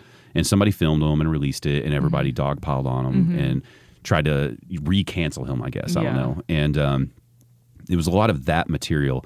And he was addressing a lot of the stuff that he went through. Like I think one of his opening jokes was like, uh, he's like, you know, he just straight up addresses. He's like, look, if you ever, you know, uh, want to masturbate in front of somebody, he's like, you need to ask permission first. and he's like, and then if they say yes, he's like, ask permission again. and he's like, and if they still say yes, he's like, just don't fucking do it. Yeah. and it's like, and he's going on, and then he goes into like material about how like it was wrong and all this, but he was making it so funny. Yeah, and people were not happy about that. At Addison Improv, we all loved it. Yeah. everybody. But you know, when he's working on it, Yeah. and somebody just releases a clip online, everyone online who's not in the club, and you only Yeah. Mm-hmm. see twenty seconds, they're losing their mind over it. Right, But right. I mean, it was incredible. It's like Yeah. I'll never. I think my f- personal favorite comic is Bill Burr. Okay, okay. Um, I just relate to him. Like I'm not saying he's the best to ever do it, but I, I just connect with his humor so well. And I'll never see him at a club like that. yeah. You know, I'll never get to experience that. He's too big for it now. Yeah, he might drop in. You never know. I one of the things I hope, like if I do anything with this little podcast, Yeah. it's that I have a little part in making our scene the type of scene where people of that caliber will drop in at like a backdoor comedy club, Yeah. just because it's fun. yeah. You know what I mean? Yeah. There's no money. It's just like I heard this. I was doing the Verizon Theater or whatever. Uh-huh. I heard this spot was cool. Let me do ten minutes before I go do my set. That's amazing. That'd be incredible, you know. Yeah. And I mean, at your show last night, we Yeah. had a little bit of that with Ralph Barbosa. Oh yeah. You know, that was not on the ticket. And Yeah. uh, my wife and I were in the corner when they said his name. I was like, no way. Yeah. We get a little Ralph Barbosa drop in. I was Yeah, like, yeah. Yeah. That was awesome. was everyone around you like freaking out? I think locally, he's still at that stage where if you're into comedy, we all know. yeah. But if if you're like, did your sister know who he was? Oh no, absolutely not. So if you're not kind of a comedy nerd, I think he still flies under your radar. Yeah, but it's interesting like how the internet contributes to that now Mm-hmm. because like there was an audience member who came up and talked to me afterwards and he was like, "Oh my gosh, like I saw that Ralph guy on TikTok." Yeah. and he was on stage and I was like, Yeah. "Wow, the internet's crazy." Right. Whoa, yeah. he's real. Like, Yeah, yeah, yeah. That is interesting. And yeah, it's interesting how you can really connect with somebody on fucking TikTok, which you shouldn't be able Right. to. And I always go back and forth with the social media stuff because Yeah. depending on the day, I really hate it. Or I'm like, wow, this is beautiful. Look, we connected with all these people, and you know, it's amazing. Yeah. And then someone in the comments is like, "You fucking suck," and you're like, Yeah. internet sucks." yeah, yeah, you're like, "I am humbled." yeah, now." yeah, yeah. That's Yeah. uh but I mean to me that's one of the steps in this scene to getting there is people like that kind of ascending and but Yeah. still staying with their roots around here. Right. Um so I was so excited to see that he's popping in at like hyenas. I think he did something at Addison. Yeah, like right beforehand. Yeah, yeah, and it's yeah, like yeah. that that stuff along with hopefully what other locals do around here. yeah, If Bill Burr ever just dropped in on any of our clubs, yeah. I could die happy. Yeah, I feel like all the comics like in the Dallas scene who are like, you know, either like not really in Dallas anymore, but started in Dallas, like I feel like they always kind of like come back and like help their people, which I Yeah. think is really awesome. Like like um like Pung, I think Yeah, Pung. always is Mhm. always coming back, like Pung's doing great. shows here. Well, and we even have some guys who were bigger earlier that still like uh Paul Varghese was Oh, a big yeah. name. He was working with like Russell Peters and Yeah. huge names. Uh-huh. And I had I got to talk to him about it and he uh you know, it's like he had the opportunity of like LA or New York and he's like, I want to put roots here, you know, in yeah, that's awesome. And uh it's you know, he's been doing it for so long. I think people forget that he made a decision like that. Right. And it's like, man, you have to respect people who you know, love their scene that much Mm-hmm. to like stay here with it. Yeah. But uh, how how is it for you knowing you're from here, but you started comedy in San Francisco? Do they like by the locals? Are you treated as a out of town San Francisco comic? I am, yeah, Okay. yeah. Which I honestly thinks like works in my favor because I feel like people are like, oh, she's only here for like a week. We'll be extra nice to her, you know. Versus it's like if I lived here, they'd be like, do we actually like her? We don't know. Yeah. okay. But um, but in general, yeah, I think people are like super welcoming out here. So while you're here, are you trying to drop in like on as much stuff as you can, or how do you like to plan it? Um, usually, so I usually come home over the holidays, um, and I'll usually like try and do like as many mics and shows as I can. I'm in town right now for a friend's wedding. Oh, Okay. Yeah, so like the wedding stuff starts tomorrow, so I'm like, dang, like won't be able to do anything. Mm-hmm. Um, but yeah, so like Sammy just happened to be headlining that night, and I've worked with him before. That's um, awesome. So it just worked out super well. But I was like, all right, I'll get one everyone set in. Yeah. Um, so is that the only one you get to do while you're in town? I think so. I think so. Um, there's a show at Dallas Comedy Club tomorrow Mm-hmm. um, that Emily runs, uh, and she was like, "Oh, you can Is like this come the uh, Who to See at DCC? Yeah, yeah, yeah. I love that show. Yeah, and I was like, "Oh, is that ten thirty? Maybe I can like go after You the wedding that out. reception." But I'm like, "Ooh, You can figure that out. yeah." I'm like, you "I need to do I- that. Yeah, Have you got to yeah. perform at DCC yet? Yeah, It's yeah, It's a good yeah. club. It's a good club. And um, the comics that run through that club, it's almost annoying how positive and helpful they are sometimes. they're, it's such a, it's but they're very nice. They're very, very, cool. nice, and they're like fairly. The club itself is fairly new. It sounds. So what happened is there used to be a place called Dallas Comedy House, and it was here for a long time. Yeah. So it had like three different locations in Deep Ellum. It kept moving. And then the last time it moved, it moved from Main Street to Elm Street, where Dallas Comedy Club is now. Same exact building. Mm-hmm.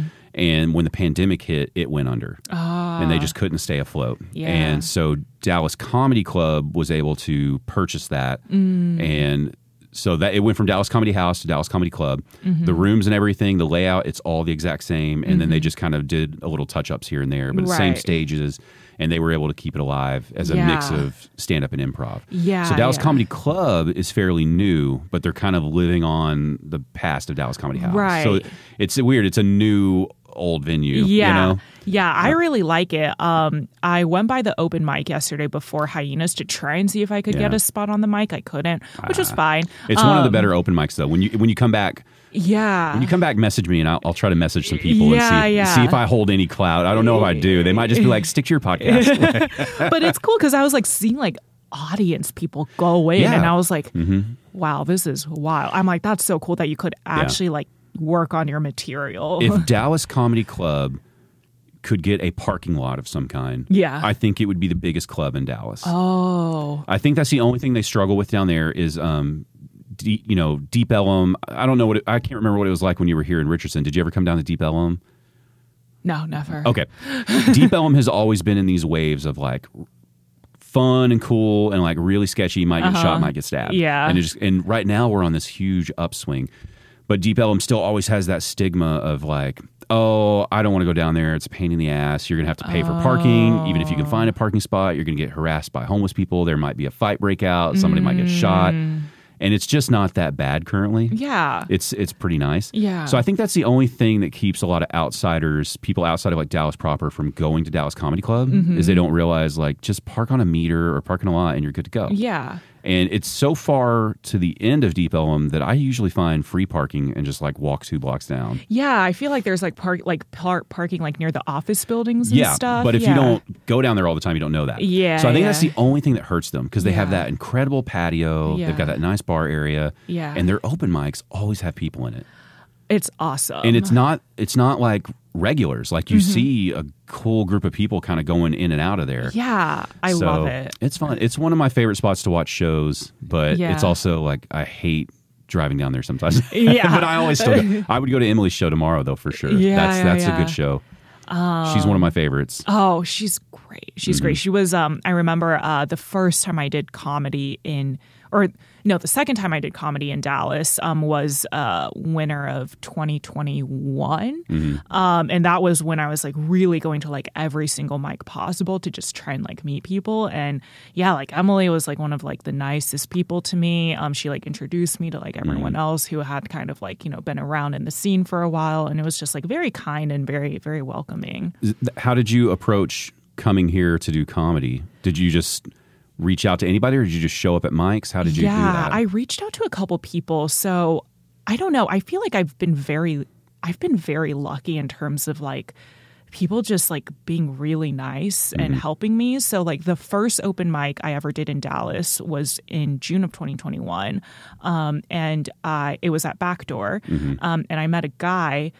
Um, who was like, "Oh my gosh, like you're Asian," and he was Asian, and he was like, he was like, "Let me introduce you to Pung," okay um, and he was like, he's you know like very established in the scene. Like maybe he can help you out. And then Pung helped me out um, and like talked to me about like the different mics that were good to go to, help me connect me with different people. And so it just kind of went from there. Um, so yeah, I honestly, I'm like, I think I've just gotten very, very um, lucky in terms of like how kind people have been. I mean, maybe, but also it seems like you're somewhat assertive. Like you will go and do something, and you'll go and look for it. Yeah, yeah. I, I think that is what holds a lot of people back is they get too nervous to even just go and just see what it's like. Yeah, I think that's the other fun thing about Dallas um, is like, you know, you go and I'm like, if I do horrible, I'll never come back. They're like, who was Denise Lee? I don't know.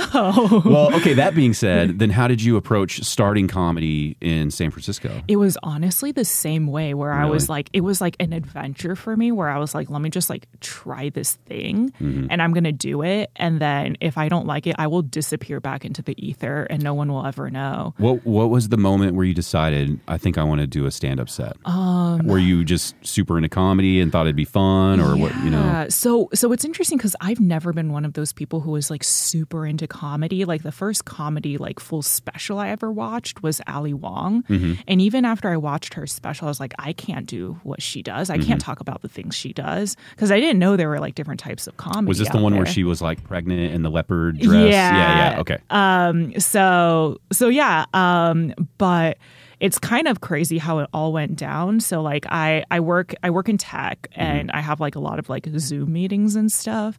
And I remember like there was one meeting where like one of my coworkers was like, "Oh my gosh, Denise, like you're so funny. You should try stand up."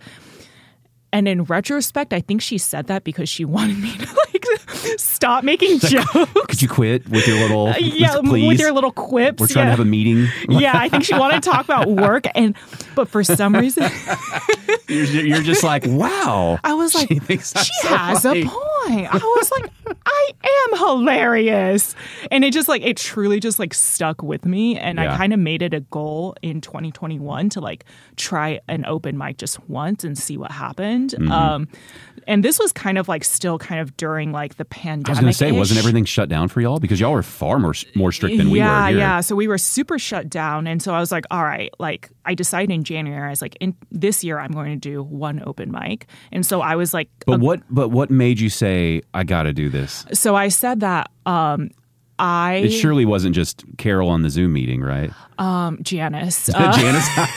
That's a better name. Janice, Janice, shout out to her. Um, I think there was another part of me too where like I think like I have a very like obsessive personality. And honestly, like at the time I was very like obsessed with work and my entire identity was tied to that.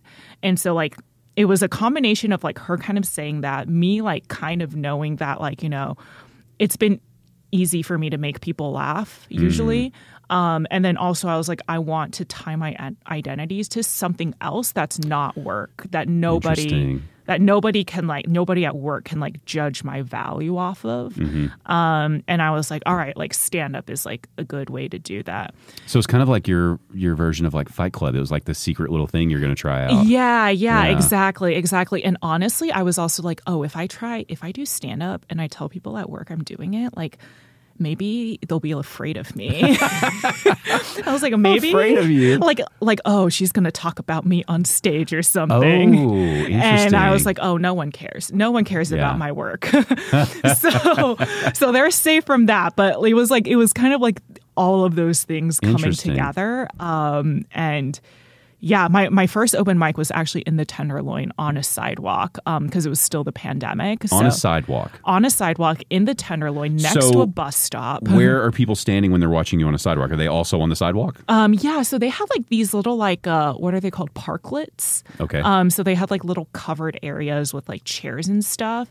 It's how people usually do like outdoor like dining and stuff. Gotcha. Um, but yeah, they just so like, it's like just kind of in between sidewalks and buildings, and you can sit down. oh yeah, it was like in front of a. It was at a bar, but like in their parklet. So it was Mm. on the sidewalk in the Tenderloin. So like occasionally, like in the middle of your set, like someone just kind of crazy would just kind of barrel through, and it was great practice for hecklers. You know, Well, I was going to say, what a great way to get used to the craziness of a stage. Exactly. I was like, this was rock bottom, and now now it's just upwards. And then my second open mic was backdoor, which was extremely different, right? And I was like, oh, this is Wow. amazing.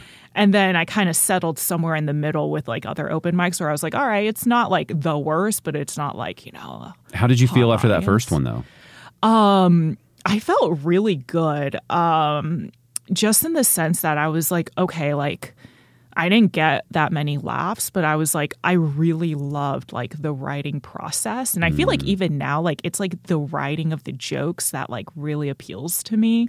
Um, and I was like, oh, like I want to keep writing that. And I think like my obsessive personality kind of started obsessing over comedy, where I was like, okay, like I'm not the best that I could be, but I think like I can get there. And so I'm just gonna like obsess over it until like Interesting. I get better. Yeah. Um, so it's probably still unhealthy, but you know, now it's No, diversified. I- but but you have to be that way. yeah. I mean, if you're not that way and you try to do anything, you know, artistic like this, you're just not ever going to be very good. Mm-hmm. Yeah. You'll be fine. Yeah. You can be okay. Like there's a lot of people in every comedy scene where it's like you're pretty good Yeah. and that's fine. right. But you're not great. yeah, I'm like, how, yeah. So and- and- and I mediocrity. think that's scary. Yeah, and that that's because I think people do lack that obsessiveness. Yeah. I feel like such a, a dick. Like I don't perform, so I feel like a jerk scrutinizing that. Uh-huh. No. but I love comedy. That's a great observation. I love comedy, and it's like, Yeah. look, you guys who've been doing the same material for five years. You know, it's, It's like insane. Mm-hmm. I I understand why you're there. It's comfortable. It's difficult to write. I'm not pretending that it's easy. Yeah. But it's like, man, you got to do it. You got to try. You know, you've got to try to get something new and be comfortable landing on your face again. Right. Yeah. And and you see that fear in so many of these comics that are they're good. There's nothing wrong with them, but it's Uh-huh. right. like I'm looking at you. It's like I know you could be so much better, Right. But you're not doing it Exactly. And I I think that's what it is. I think they're not obsessed with getting better. yeah. Yeah. Yeah. Exactly. I think like you really gotta like. It's got to be borderline unhealthy, right? Oh, a hundred percent. Like be. I feel like ninety nine percent of my day is like spent thinking about like Mm-hmm. comedy. Like even if I'm like at work, like it's in the back of my mind where I'm like, all right, like that one bit, like how do I like Mm-hmm. make that a little bit better? Um, and yeah, I think I definitely feel you on like you know seeing like the same jokes like through the years, and I get really like insecure about that too.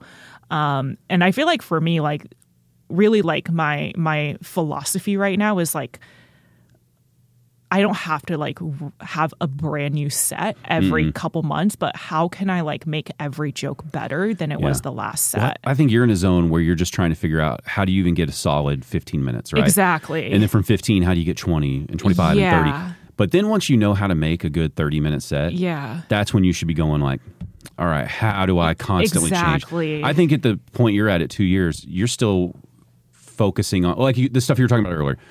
Finding my Who voice. am I? What do I want to talk Mm-hmm. about? How do I, you know, the most most important thing would probably be how do I like to do comedy? Right. Because at the end of the day, it's like if you do it and you don't get any laughs, but Yeah. you really loved it and you liked what you were trying to get out there, it's like you'll keep doing it. yeah. And that's far better than, you know, what do they want? Exactly. Yeah. That's such a great point and I think that's something I'm only now recently realizing and cuz I think like when I first started comedy, like I said I hadn't really watched any comedy before. That's so fascinating. I was really just like writing what was funny to me Mm-hmm. and sometimes it worked and sometimes it didn't. Most of the time it didn't, but I was having fun with it.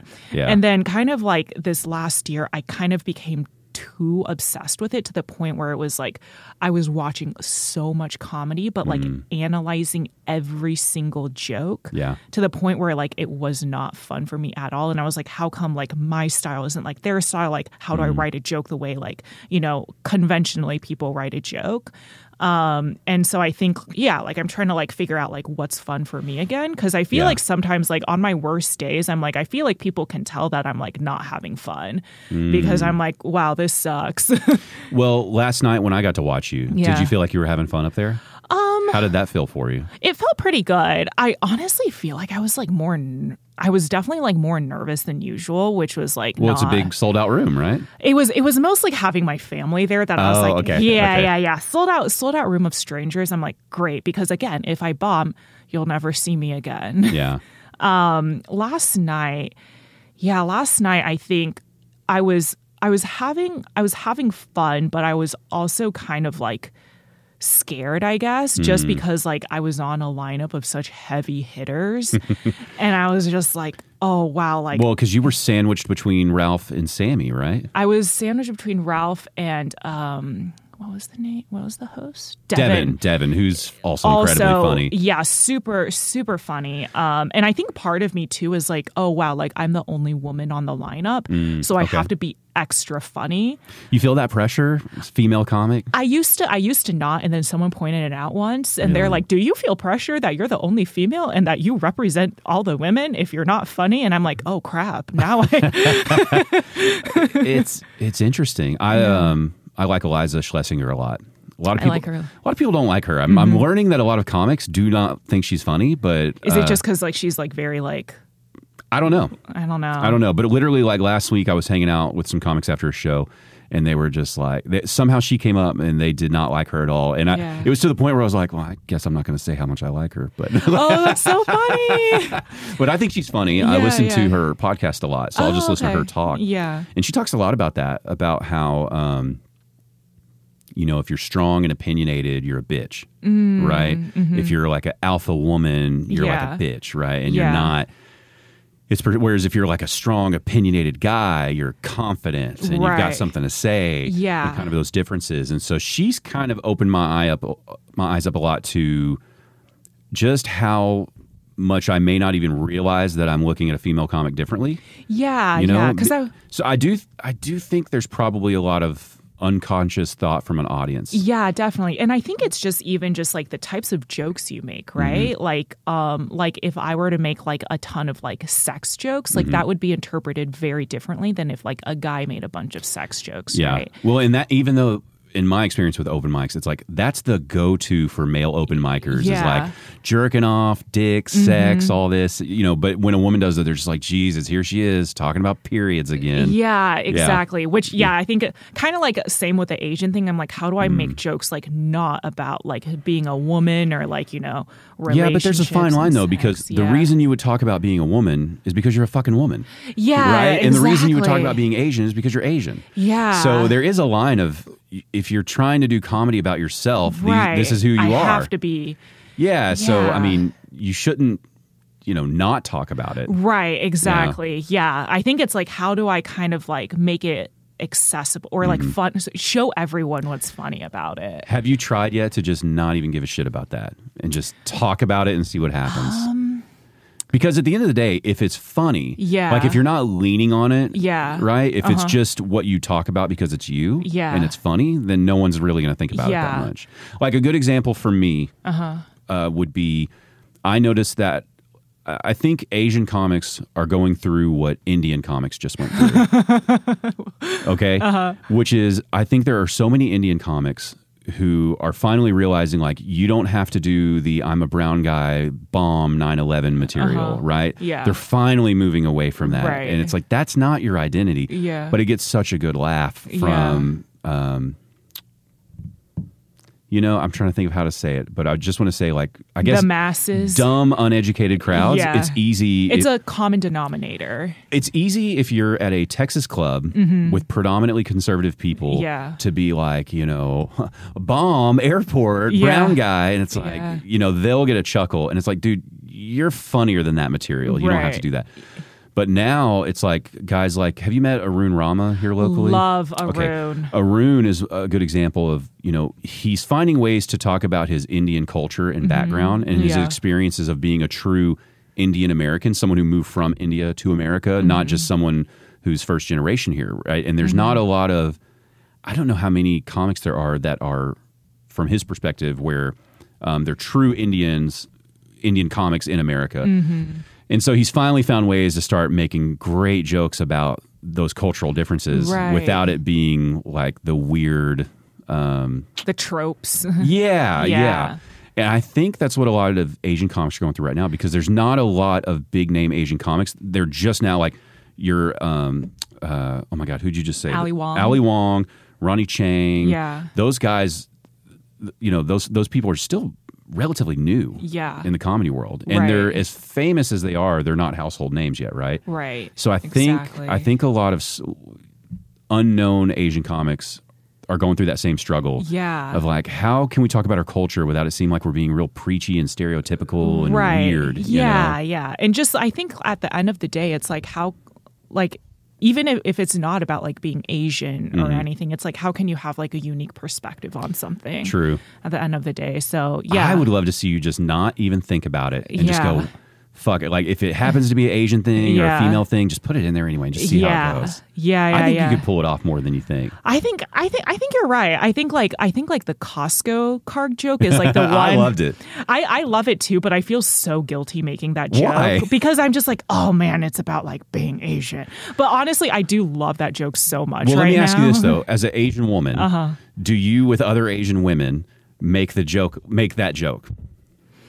Like, would you would you ever joke about like, you know, the I don't want to step all over your bit because I want people to be able to hear it. But basically, Oh, it's okay. Okay, but your joke is about how like you don't want to think that Asians all look alike, but you also want to share a Costco card with a bunch of people, right? Yeah, yeah. Would you ever make that joke around like your sister or your mom? Oh yeah, because it happened. That's what I'm saying. So I think if you would actually make that joke Yeah. with, within your culture, Yeah. then that's what it's That's funny. a great barometer. Yeah. right? Like if you would if you're willing to say it to your peers in that culture, Mm-hmm. Right. then it's fine. Right. Right? Yeah.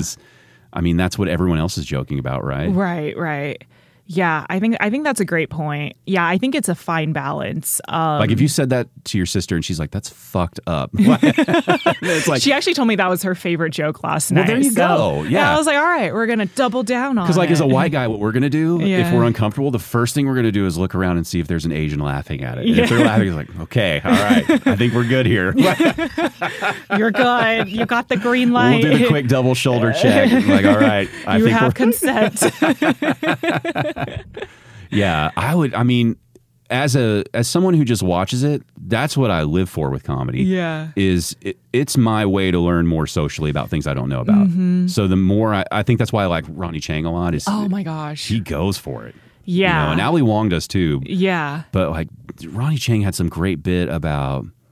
He's like, go ahead and fucking cancel me. He's like, you're gonna send me back to Malaysia? He's like, I'd love to go Yeah. back. He's like, where I'm rich and famous, and they have uh, socialized medicine, and like, or another one, I think one of my very, very favorite bits that was just like so funny to me was where he was talking about like how Asians want their children to become doctors and yet they are the most against modern medicine. and I was like, that is so But true. that's great. And and that's stuff that I wouldn't connect the dots on, right? As someone living in Dallas, Texas. So it's like mm-hmm. that that is what's going to be really funny. Yeah, but it makes sense to you after Well, you hear it. As soon as you hear it, you're like, that's right. Right. Oh my God, how have I never thought of that? You know? Yeah. And that that's the really difficult comedy is the stuff that's right there in front of you. yeah. you know? Yeah, yeah. like, did you get to watch um, Ralph's set at all? Oh, I watched the whole thing. Okay. It was beautiful. when he was talking about uh, I'm not going to get into his bit at all because I feel like he's working on it still. But when he was talking about how babies should be more concerned about their first oh, impressions, yeah. Oh, that was fucking, hilarious. and it's one of those. It's like Jesus, that's right there. I have never yeah. ever connected those dots. Yeah. and that's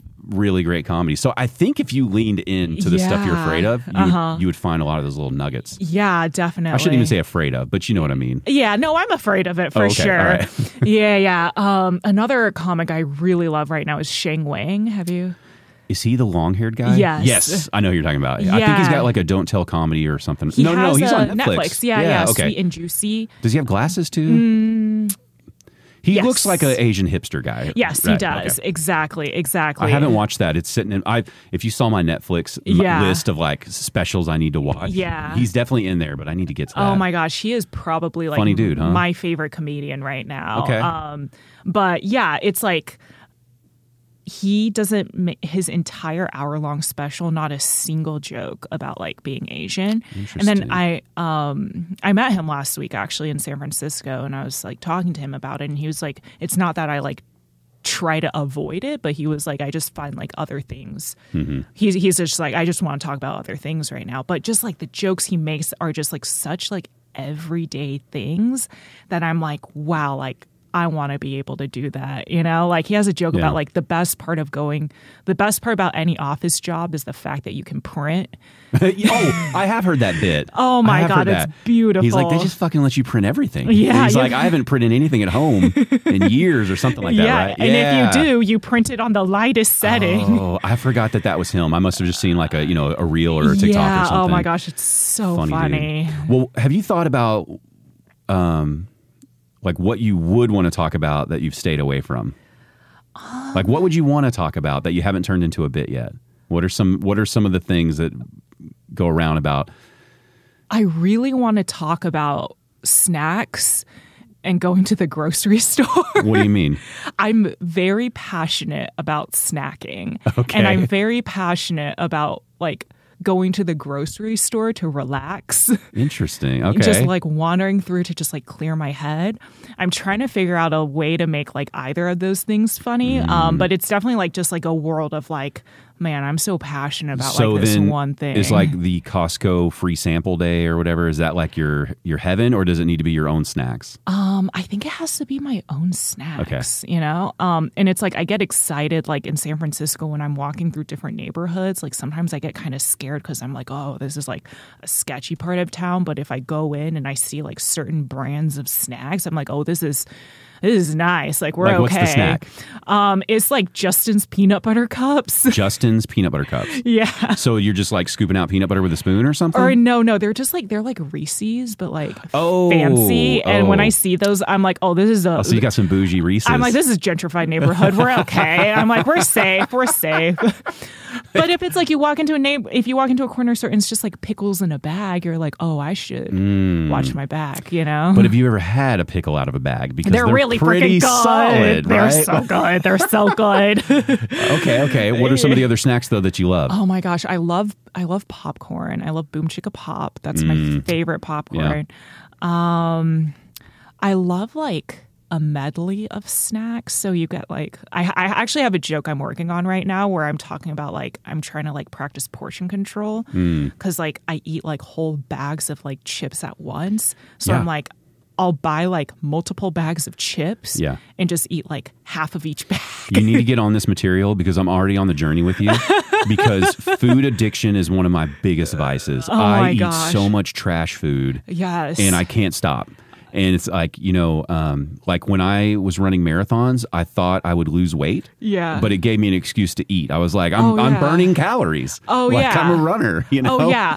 When I first moved to San Francisco, actually, so I used to run. I used to be a runner. Um, yeah, I was also I trained for. I didn't train for a marathon. I trained for a half marathon. Okay. and that was already too much for me. But I was gaining so much weight because I was like, I am voracious all the time. Yeah, yeah, yeah. You're like, you know, you're checking your watch. You're like, I've, burned 1,500 calories. I can have a couple slices of pizza. My joints are telling me it's fifteen hundred calories. did you do the half? I did the half. Um, If I, you did, I'll tell you this: if you did the half, you could do a marathon. that's false. you could do it. I could do it, but I think I'd be unwell after.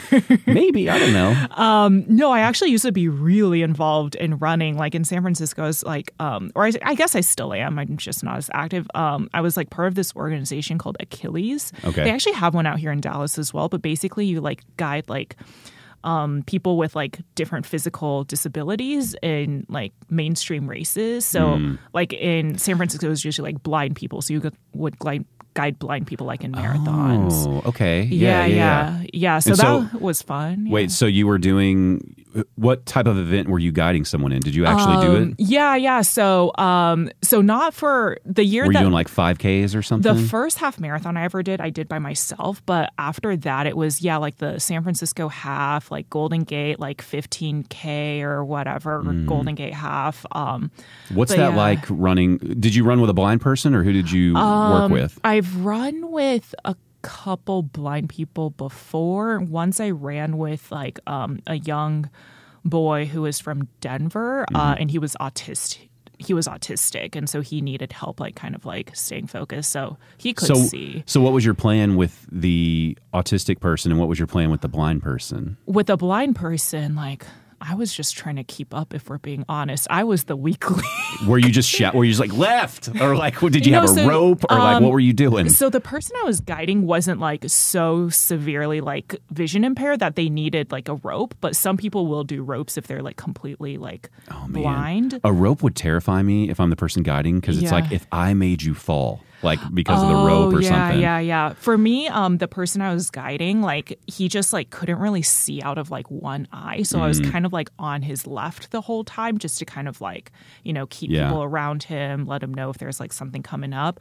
But um, Were they happy at the end of all that? Were they glad you ran with them, or were Yeah, they? yeah, they- were they like, I didn't really need this. or- No, no, it was it was great. Um, yeah, and we would have like practice runs like every other week, um, where it like wasn't the actual race. Mm. So you got to know each other then. yeah, Yeah, yeah, exactly. Um, and I did this more before the pandemic. After the pandemic, when we all got back to like running, and this is when I stopped because I was like, wait, I actually hate this, was because like this guy, he had a treadmill in his basement during the pandemic and he just ran the treadmill every day and I did not do any of that. and we tried to run together and I had to ask for breaks.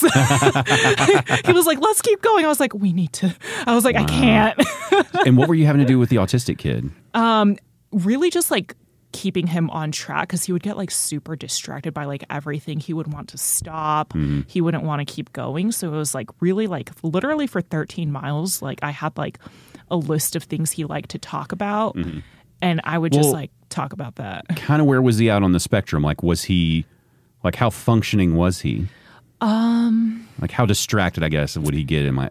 I, he clearly had to sign up for this and want to do it. Yeah, well, his mom helped him and Okay. everything. Um, but he was like, uh, he definitely like needed, he definitely needed like someone there to like kind of like guide him and like tell him like, hey, Mm-hmm. so were like, you just like pulling going. on his shirt sleeve, like over this way, or yeah, you know? yeah, or just like, hey, like let's let's keep going until like over there, and then Mm. we'll stop because like it'd be like you know, you see a dog and you're like, oh, a dog, Oh, or or it's like around like mile 10 or so um he was getting really tired and he just wanted to like stop yeah. and i was like ben like we gotta keep going because like they were like about so the reason i was still able to do it was because he ran really slow to the Mm, okay. point where it was like a fast walk for me Yeah. Um, That's like my marathon pace. yeah, exactly. I was like, all right, I can do this. I was like, I can walk for a long time.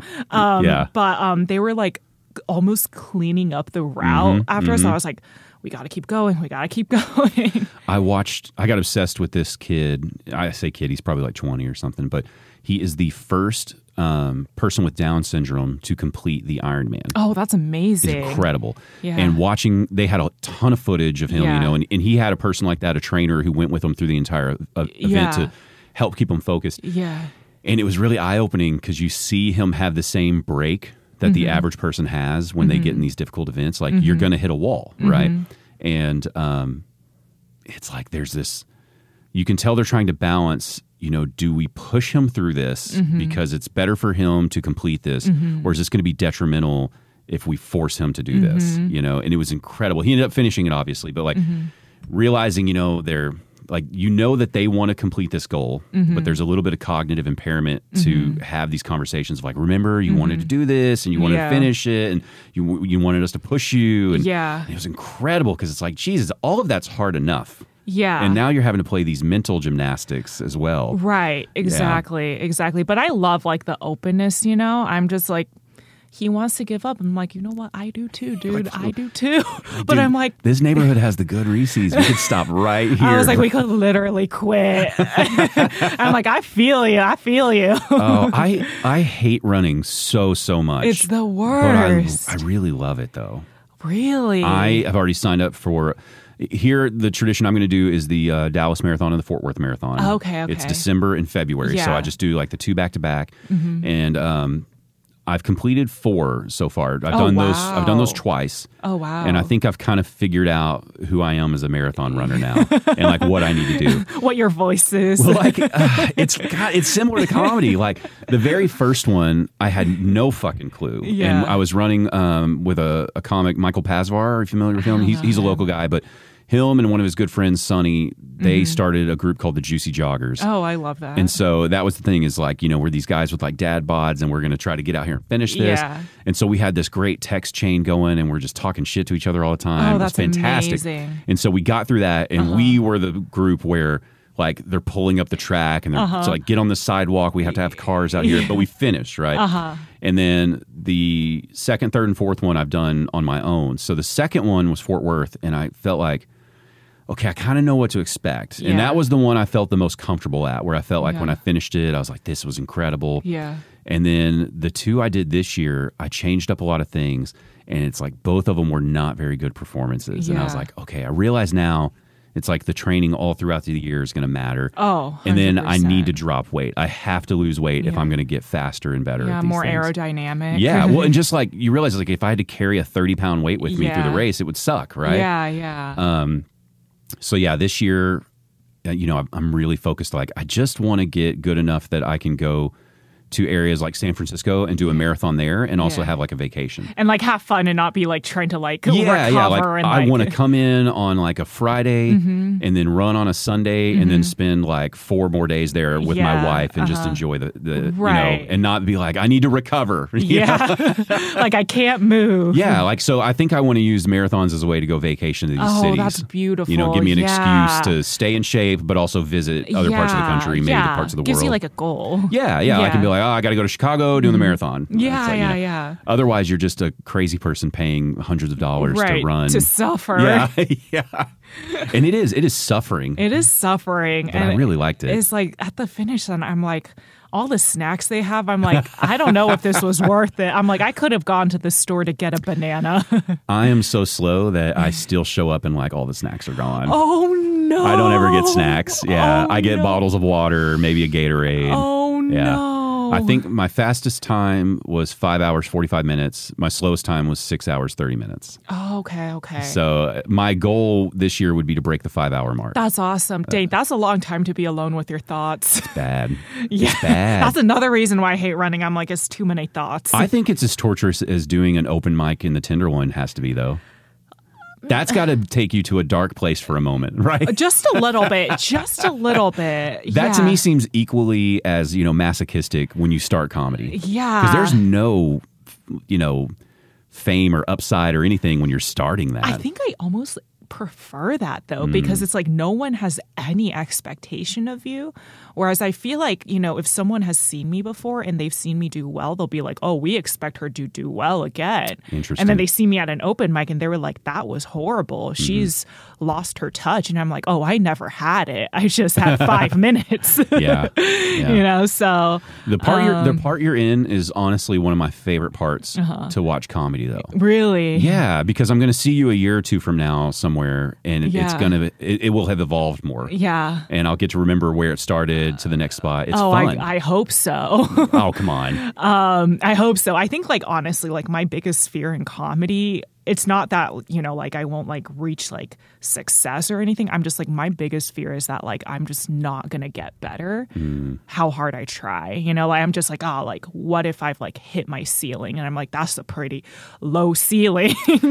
I think that that's a good, healthy fear to make sure that you keep writing and working. Uh-huh. yeah, yeah. You just gotta hate yourself just Yeah, enough. just enough. Just enough. Literally, the last marathon I did, I hit the wall way earlier than I thought, and I was like on a pretty good pace. I was Uh-huh. going to do well, and um, it was like mile, I want to say maybe like sixteen Oh, to mile eighteen.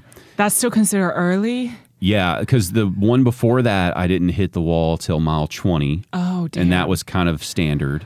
And I, I like at feel mile at mile twenty at mile twenty, I can tell myself like. You've only got six miles, dude. You Yeah. can do six miles now. Just Yeah. fucking do it.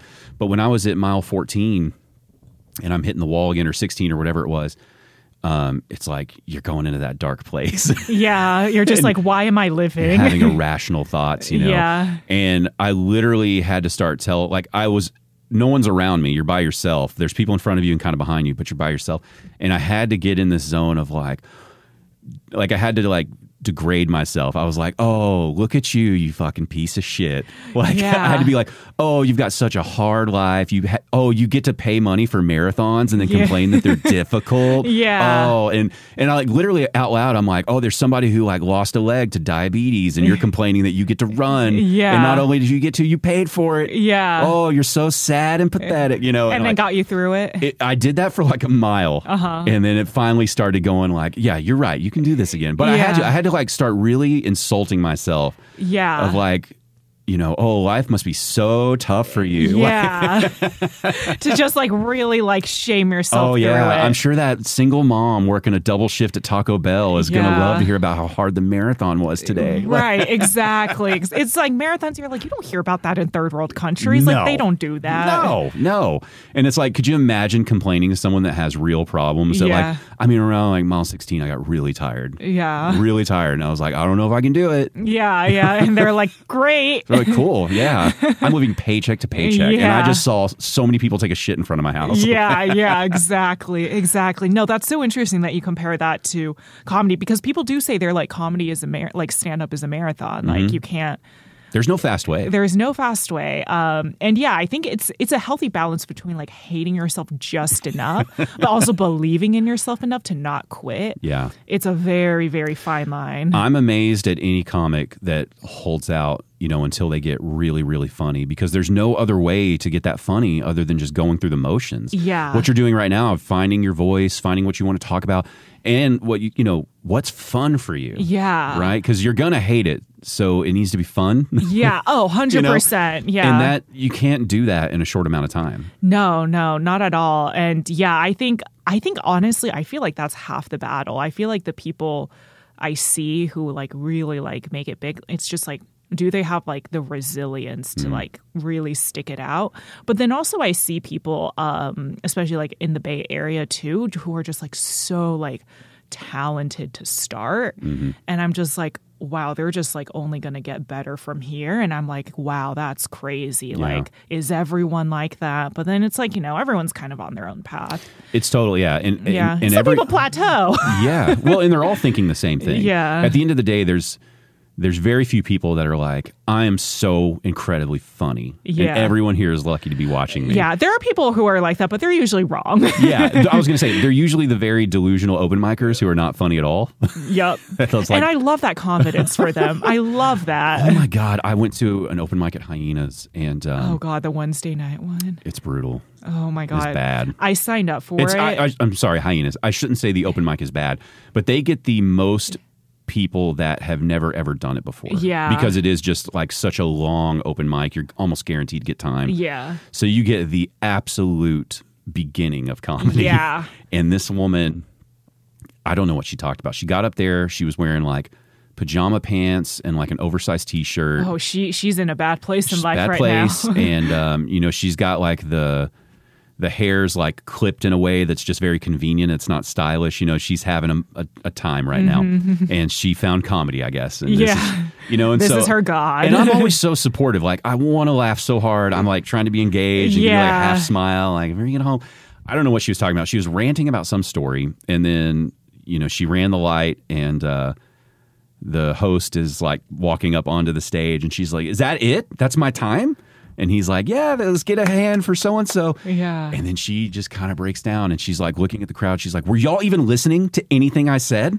and you're like, we were it's like, listening. yeah. yeah. And, and then it turned into like, if I just, like, if you just give me more time, and it's, and it's like, She truly believes that she for herself. believed it. Like we, and then as she got off, she's talking to whoever she came there with about like, you know, they just don't fucking get it, and blah blah blah. Like she's still going on. Like the crowd was the problem. She was super funny. We didn't get it. And it's like I need some of that confidence. I know. I'm like, if I could have an ounce of that confidence, how much happier would I be? Right? But I would be more delusional for sure. Yeah, but ignorance is bliss, right? If you're a little is. delusional, you probably got a great life. In your mind, it's great. Exactly, exactly. I'm like, what's it like to live like that? She has probably moved on to something totally different now. And then she tells stories about, like, you know, I was pretty great at comedy, but it just wasn't for me. Yeah, that era is over. I put the mic down. Yeah. She didn't, though. She got it taken away from her. Oh my gosh. Well, what's been your favorite part about this two year journey so far? What have you enjoyed the most about it? Maybe that you didn't even expect, you know? Yeah, that's a great question. I think, I mean, I think this sounds kind of obvious, but I think like the biggest thing is like really being able to like, being encouraged to like be myself. And I know mm-hmm. we've talked a lot about like, you know, still trying to like find my voice and figure out who I am. But I feel like for like most of my life, like I've really tried to like fit like a certain like mold. And this is like the first time where like being different is like encouraged. And I've always felt like I've had like weird outlooks on things. And I'm like, oh, this is actually like good for me now Yeah. um and i think i think it's really cool to like kind of like be doing something where you know like i feel like i can really like express that um Mm-hmm. and people will listen Had you had an outlet like that before you did comedy? no not at all Is this No, kind of i the just first- bottled it up inside Is this kind of the first artistic endeavor? um i guess i mean like i played piano growing up Okay, yeah. So Um, you're an artist then. it was silent and it was What do you mean it was silent? I didn't say I had no like expression, you know, because I was just like following the motions. Like there wasn't really like any like heart or like Hmm. Like thought no into it. improvisation with with your piano. You were just Oh, playing what's absolutely. I was like just playing by the books, and I was like, this is this is good for something. Yeah. this makes me smarter somehow. Uh, do you play still? no, not at all. Not at all. If It you was- see a piano, do you even want to touch it? I would. I just don't remember anything. Oh, okay. Yeah, yeah, yeah. It was like one of those things where like my parents made me do it growing Yeah. up, and they were like, "It'll be good for me. Very you." Taiwanese thing, right? Mm-hmm. Yeah, and I was like, "It will be good for me." It made me a fast typer. So That's good. That's good. yeah, yeah. My elementary school teacher saw me typing once. She's like, "You'll be a great secretary one day." I was like, "Thanks." Hey, there's still time to prove her right. you I know, right? I'm like, mm, my hundred words per minute. oh my gosh. I do think though, learning the piano, you, uh, I play guitar, and, Yeah. but I think there's something with music. I think piano, especially. I've always wanted to uh, learn piano, and there's been a couple times in my life where I've, you know, gone to like take lessons or learn it, but it's I forgot how long it took me to learn guitar to where I felt like I was really good at it. Uh-huh. Yeah. And you know, now that I can just play guitar, I think I get more frustrated because I have to remind myself like you don't know anything about this instrument. It's going to take years, yeah, you know, and you're going to have to commit years. But I think piano players, I think y'all have some connections in your brain that other people just don't have. Oh, I don't know. I think you do. I think it's in there because it's to play a piano somewhat effortlessly Yeah. takes a lot of skill.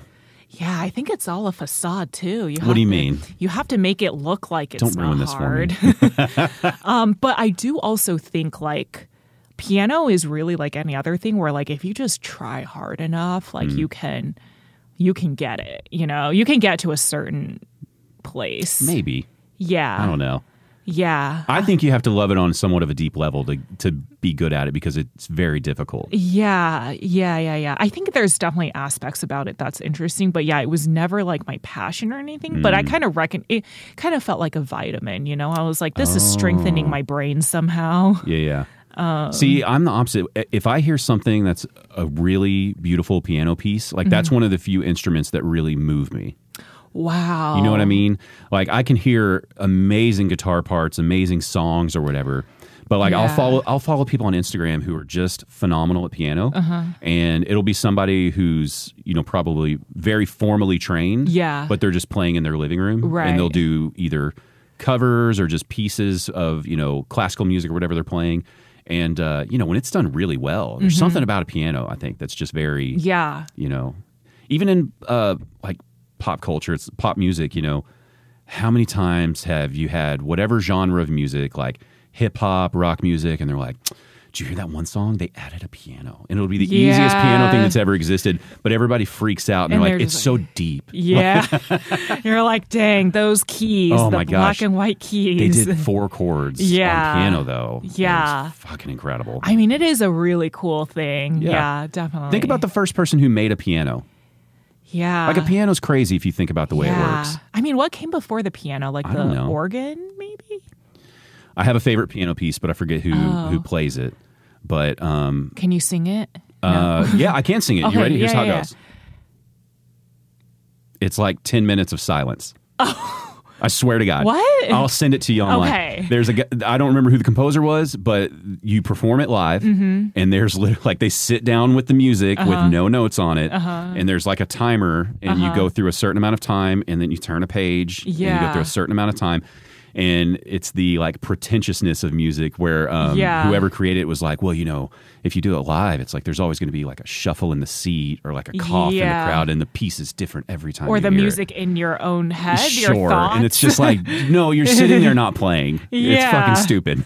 That's hilarious. That is absolutely love hilarious. I'll find the piece because people will um, people will perform that piece today. Oh my god, that's You know, hilarious. like you'll go to a recital and someone's like, "I'm performing," you know, whatever it's called by this person. Yeah. It- like I think one of them they did it with a stopwatch, so you literally hear like beep, like. Yeah, wow. So so you know you're turning the page at the right moment. I guess so. Yeah, it's so that's fucking dumb. insane. But I think that's my favorite piece ever. Yeah, it- that's And so then there was another one where um, you uh, you light the piano on fire. Oh, okay, that's an expensive performance. and the idea is like you know the strings melt and pop and the the soundboard or whatever breaks at some point and there's all these Dang. noises and it's like it's so experimental and I it's hope like, it's not a Steinway. yeah right it's like can we just play it can you just hit the keys please yeah, I hope it's a cheap piano. That's insane. Yeah. That's hilarious. It seems like something I would watch in San Francisco. That's what. yeah, honestly, I'm like I wouldn't pa- I wouldn't put it past someone in San Francisco to do that for sure. what has been the craziest thing that you've seen in the city, but you you were like cool with it, like you liked it? Comedy wise, or just no, no, like no, just anything living there where you're just like, huh, that's fucking weird, but you were down with it. It was fine. It was interesting. Because when you live there, you forget that it's yeah. it's that way. You know. Yeah. Oh, I think um there's this guy at this park kind of close to where I used to live and he would just be naked but with just a sock over his private Oh, so not naked then. He was covered. But he would like it wasn't that just that he would like do yoga by himself with his dog. Yeah. Okay. It was so. in- so this is not a homeless person. It's this not. Is, a, this is a housed person. This was actually at the park um, across from the Painted Ladies. yeah. Um, So it was beautiful park, tons of tourists, and then just Great place to do some yoga. Yeah, yeah, yeah. And he was he was fully almost nude, But that's the key point. Almost nude. almost nude. But it was just like the the courage with which he was really just dancing and then doing yoga. He was like leaping over his dog. Mm-hmm. what age are we talking? What age range? You think twenties to thirties, thirties to Oh forties? no, like fifties to sixties. 50s to 60s. Yeah, Yeah, he was very spry. That's the age where men can get really confident for no reason. Yeah, You know what I'm saying? Like it's after your midlife crisis, you stop really giving a shit. yeah, Yeah. It's a Uh, resurgence. Were you offended by it or were you like, good for you? I, I was just I was impressed by it. Honestly, I was just again. I was. It was one of those things where I was like, I wish I had an ounce of that confidence. Yeah. You know. Well, you, yeah, but what are you going to put the sock on? You know, that's just. you know. Yeah, I know. I'm like, I'm like when I'm at You'll the. never, you'll never be able to have that moment. yeah, when I'm at the gym and I like my towel slips from the shower, I'm like, I'm so sorry to like everyone around me. I'm like, I'm so sorry you had to see the same thing that you also have. You Yeah. know? I think I would absolutely love walking down the street, seeing somebody doing that in a park. Yeah, I would love that. Yeah, I was like, yeah, this makes sense. Like if you're not bo- like if you're not running up at people and bothering them, it's Yeah. like, hey, you're just trying to get some sun, man. I yeah, get it. Yeah, yeah, yeah. I was like, you know what? Vitamin D is great for you. yeah. Well, I've had so much fun Oh my chatting gosh, with that's you. so much fun, and Getting Travis. to know you. Um, so you said for sure you typically come back in the winter to see your family. yes, I always come back in December, usually for like a month Okay. or so. So that's probably the next time I'll get to watch you then yeah, around town. yeah, yeah, definitely. Yeah. Okay. Yeah, I'll have some new jokes for you then, hopefully about snacks. Uh, I just want you to talk about whatever you enjoy talking about because I want to see, like, I want to see you, um, like what you consider to be the like unhinged version of like I'm just going to talk about what I like and go with it. I love how my version of unhinged is talking about snacking Absolutely, and yeah. grocery stores. snacking, and I'm not great at driving. Yeah, yeah, exactly. Um, where do you like people to follow you so that when you come back to town? Um, yeah, yeah. You follow me on Instagram at real Denise Lee. Um, I usually post all my shows on my story. Um, I'll make posts. Uh, so yeah. and then where are you back. usually performing in San Francisco? Just all over. All over. Uh, usually, uh, yeah, your favorite dive bar in town. cool. I'm there. Okay, awesome. Um, but yeah, yeah, it's all on Instagram. If anyone's ever in town, um, definitely hit me up. We'd love to see you at a show. Thank you so much. Yeah, thank you for having me. The I'm a Fan of podcast, music, comedy, and more.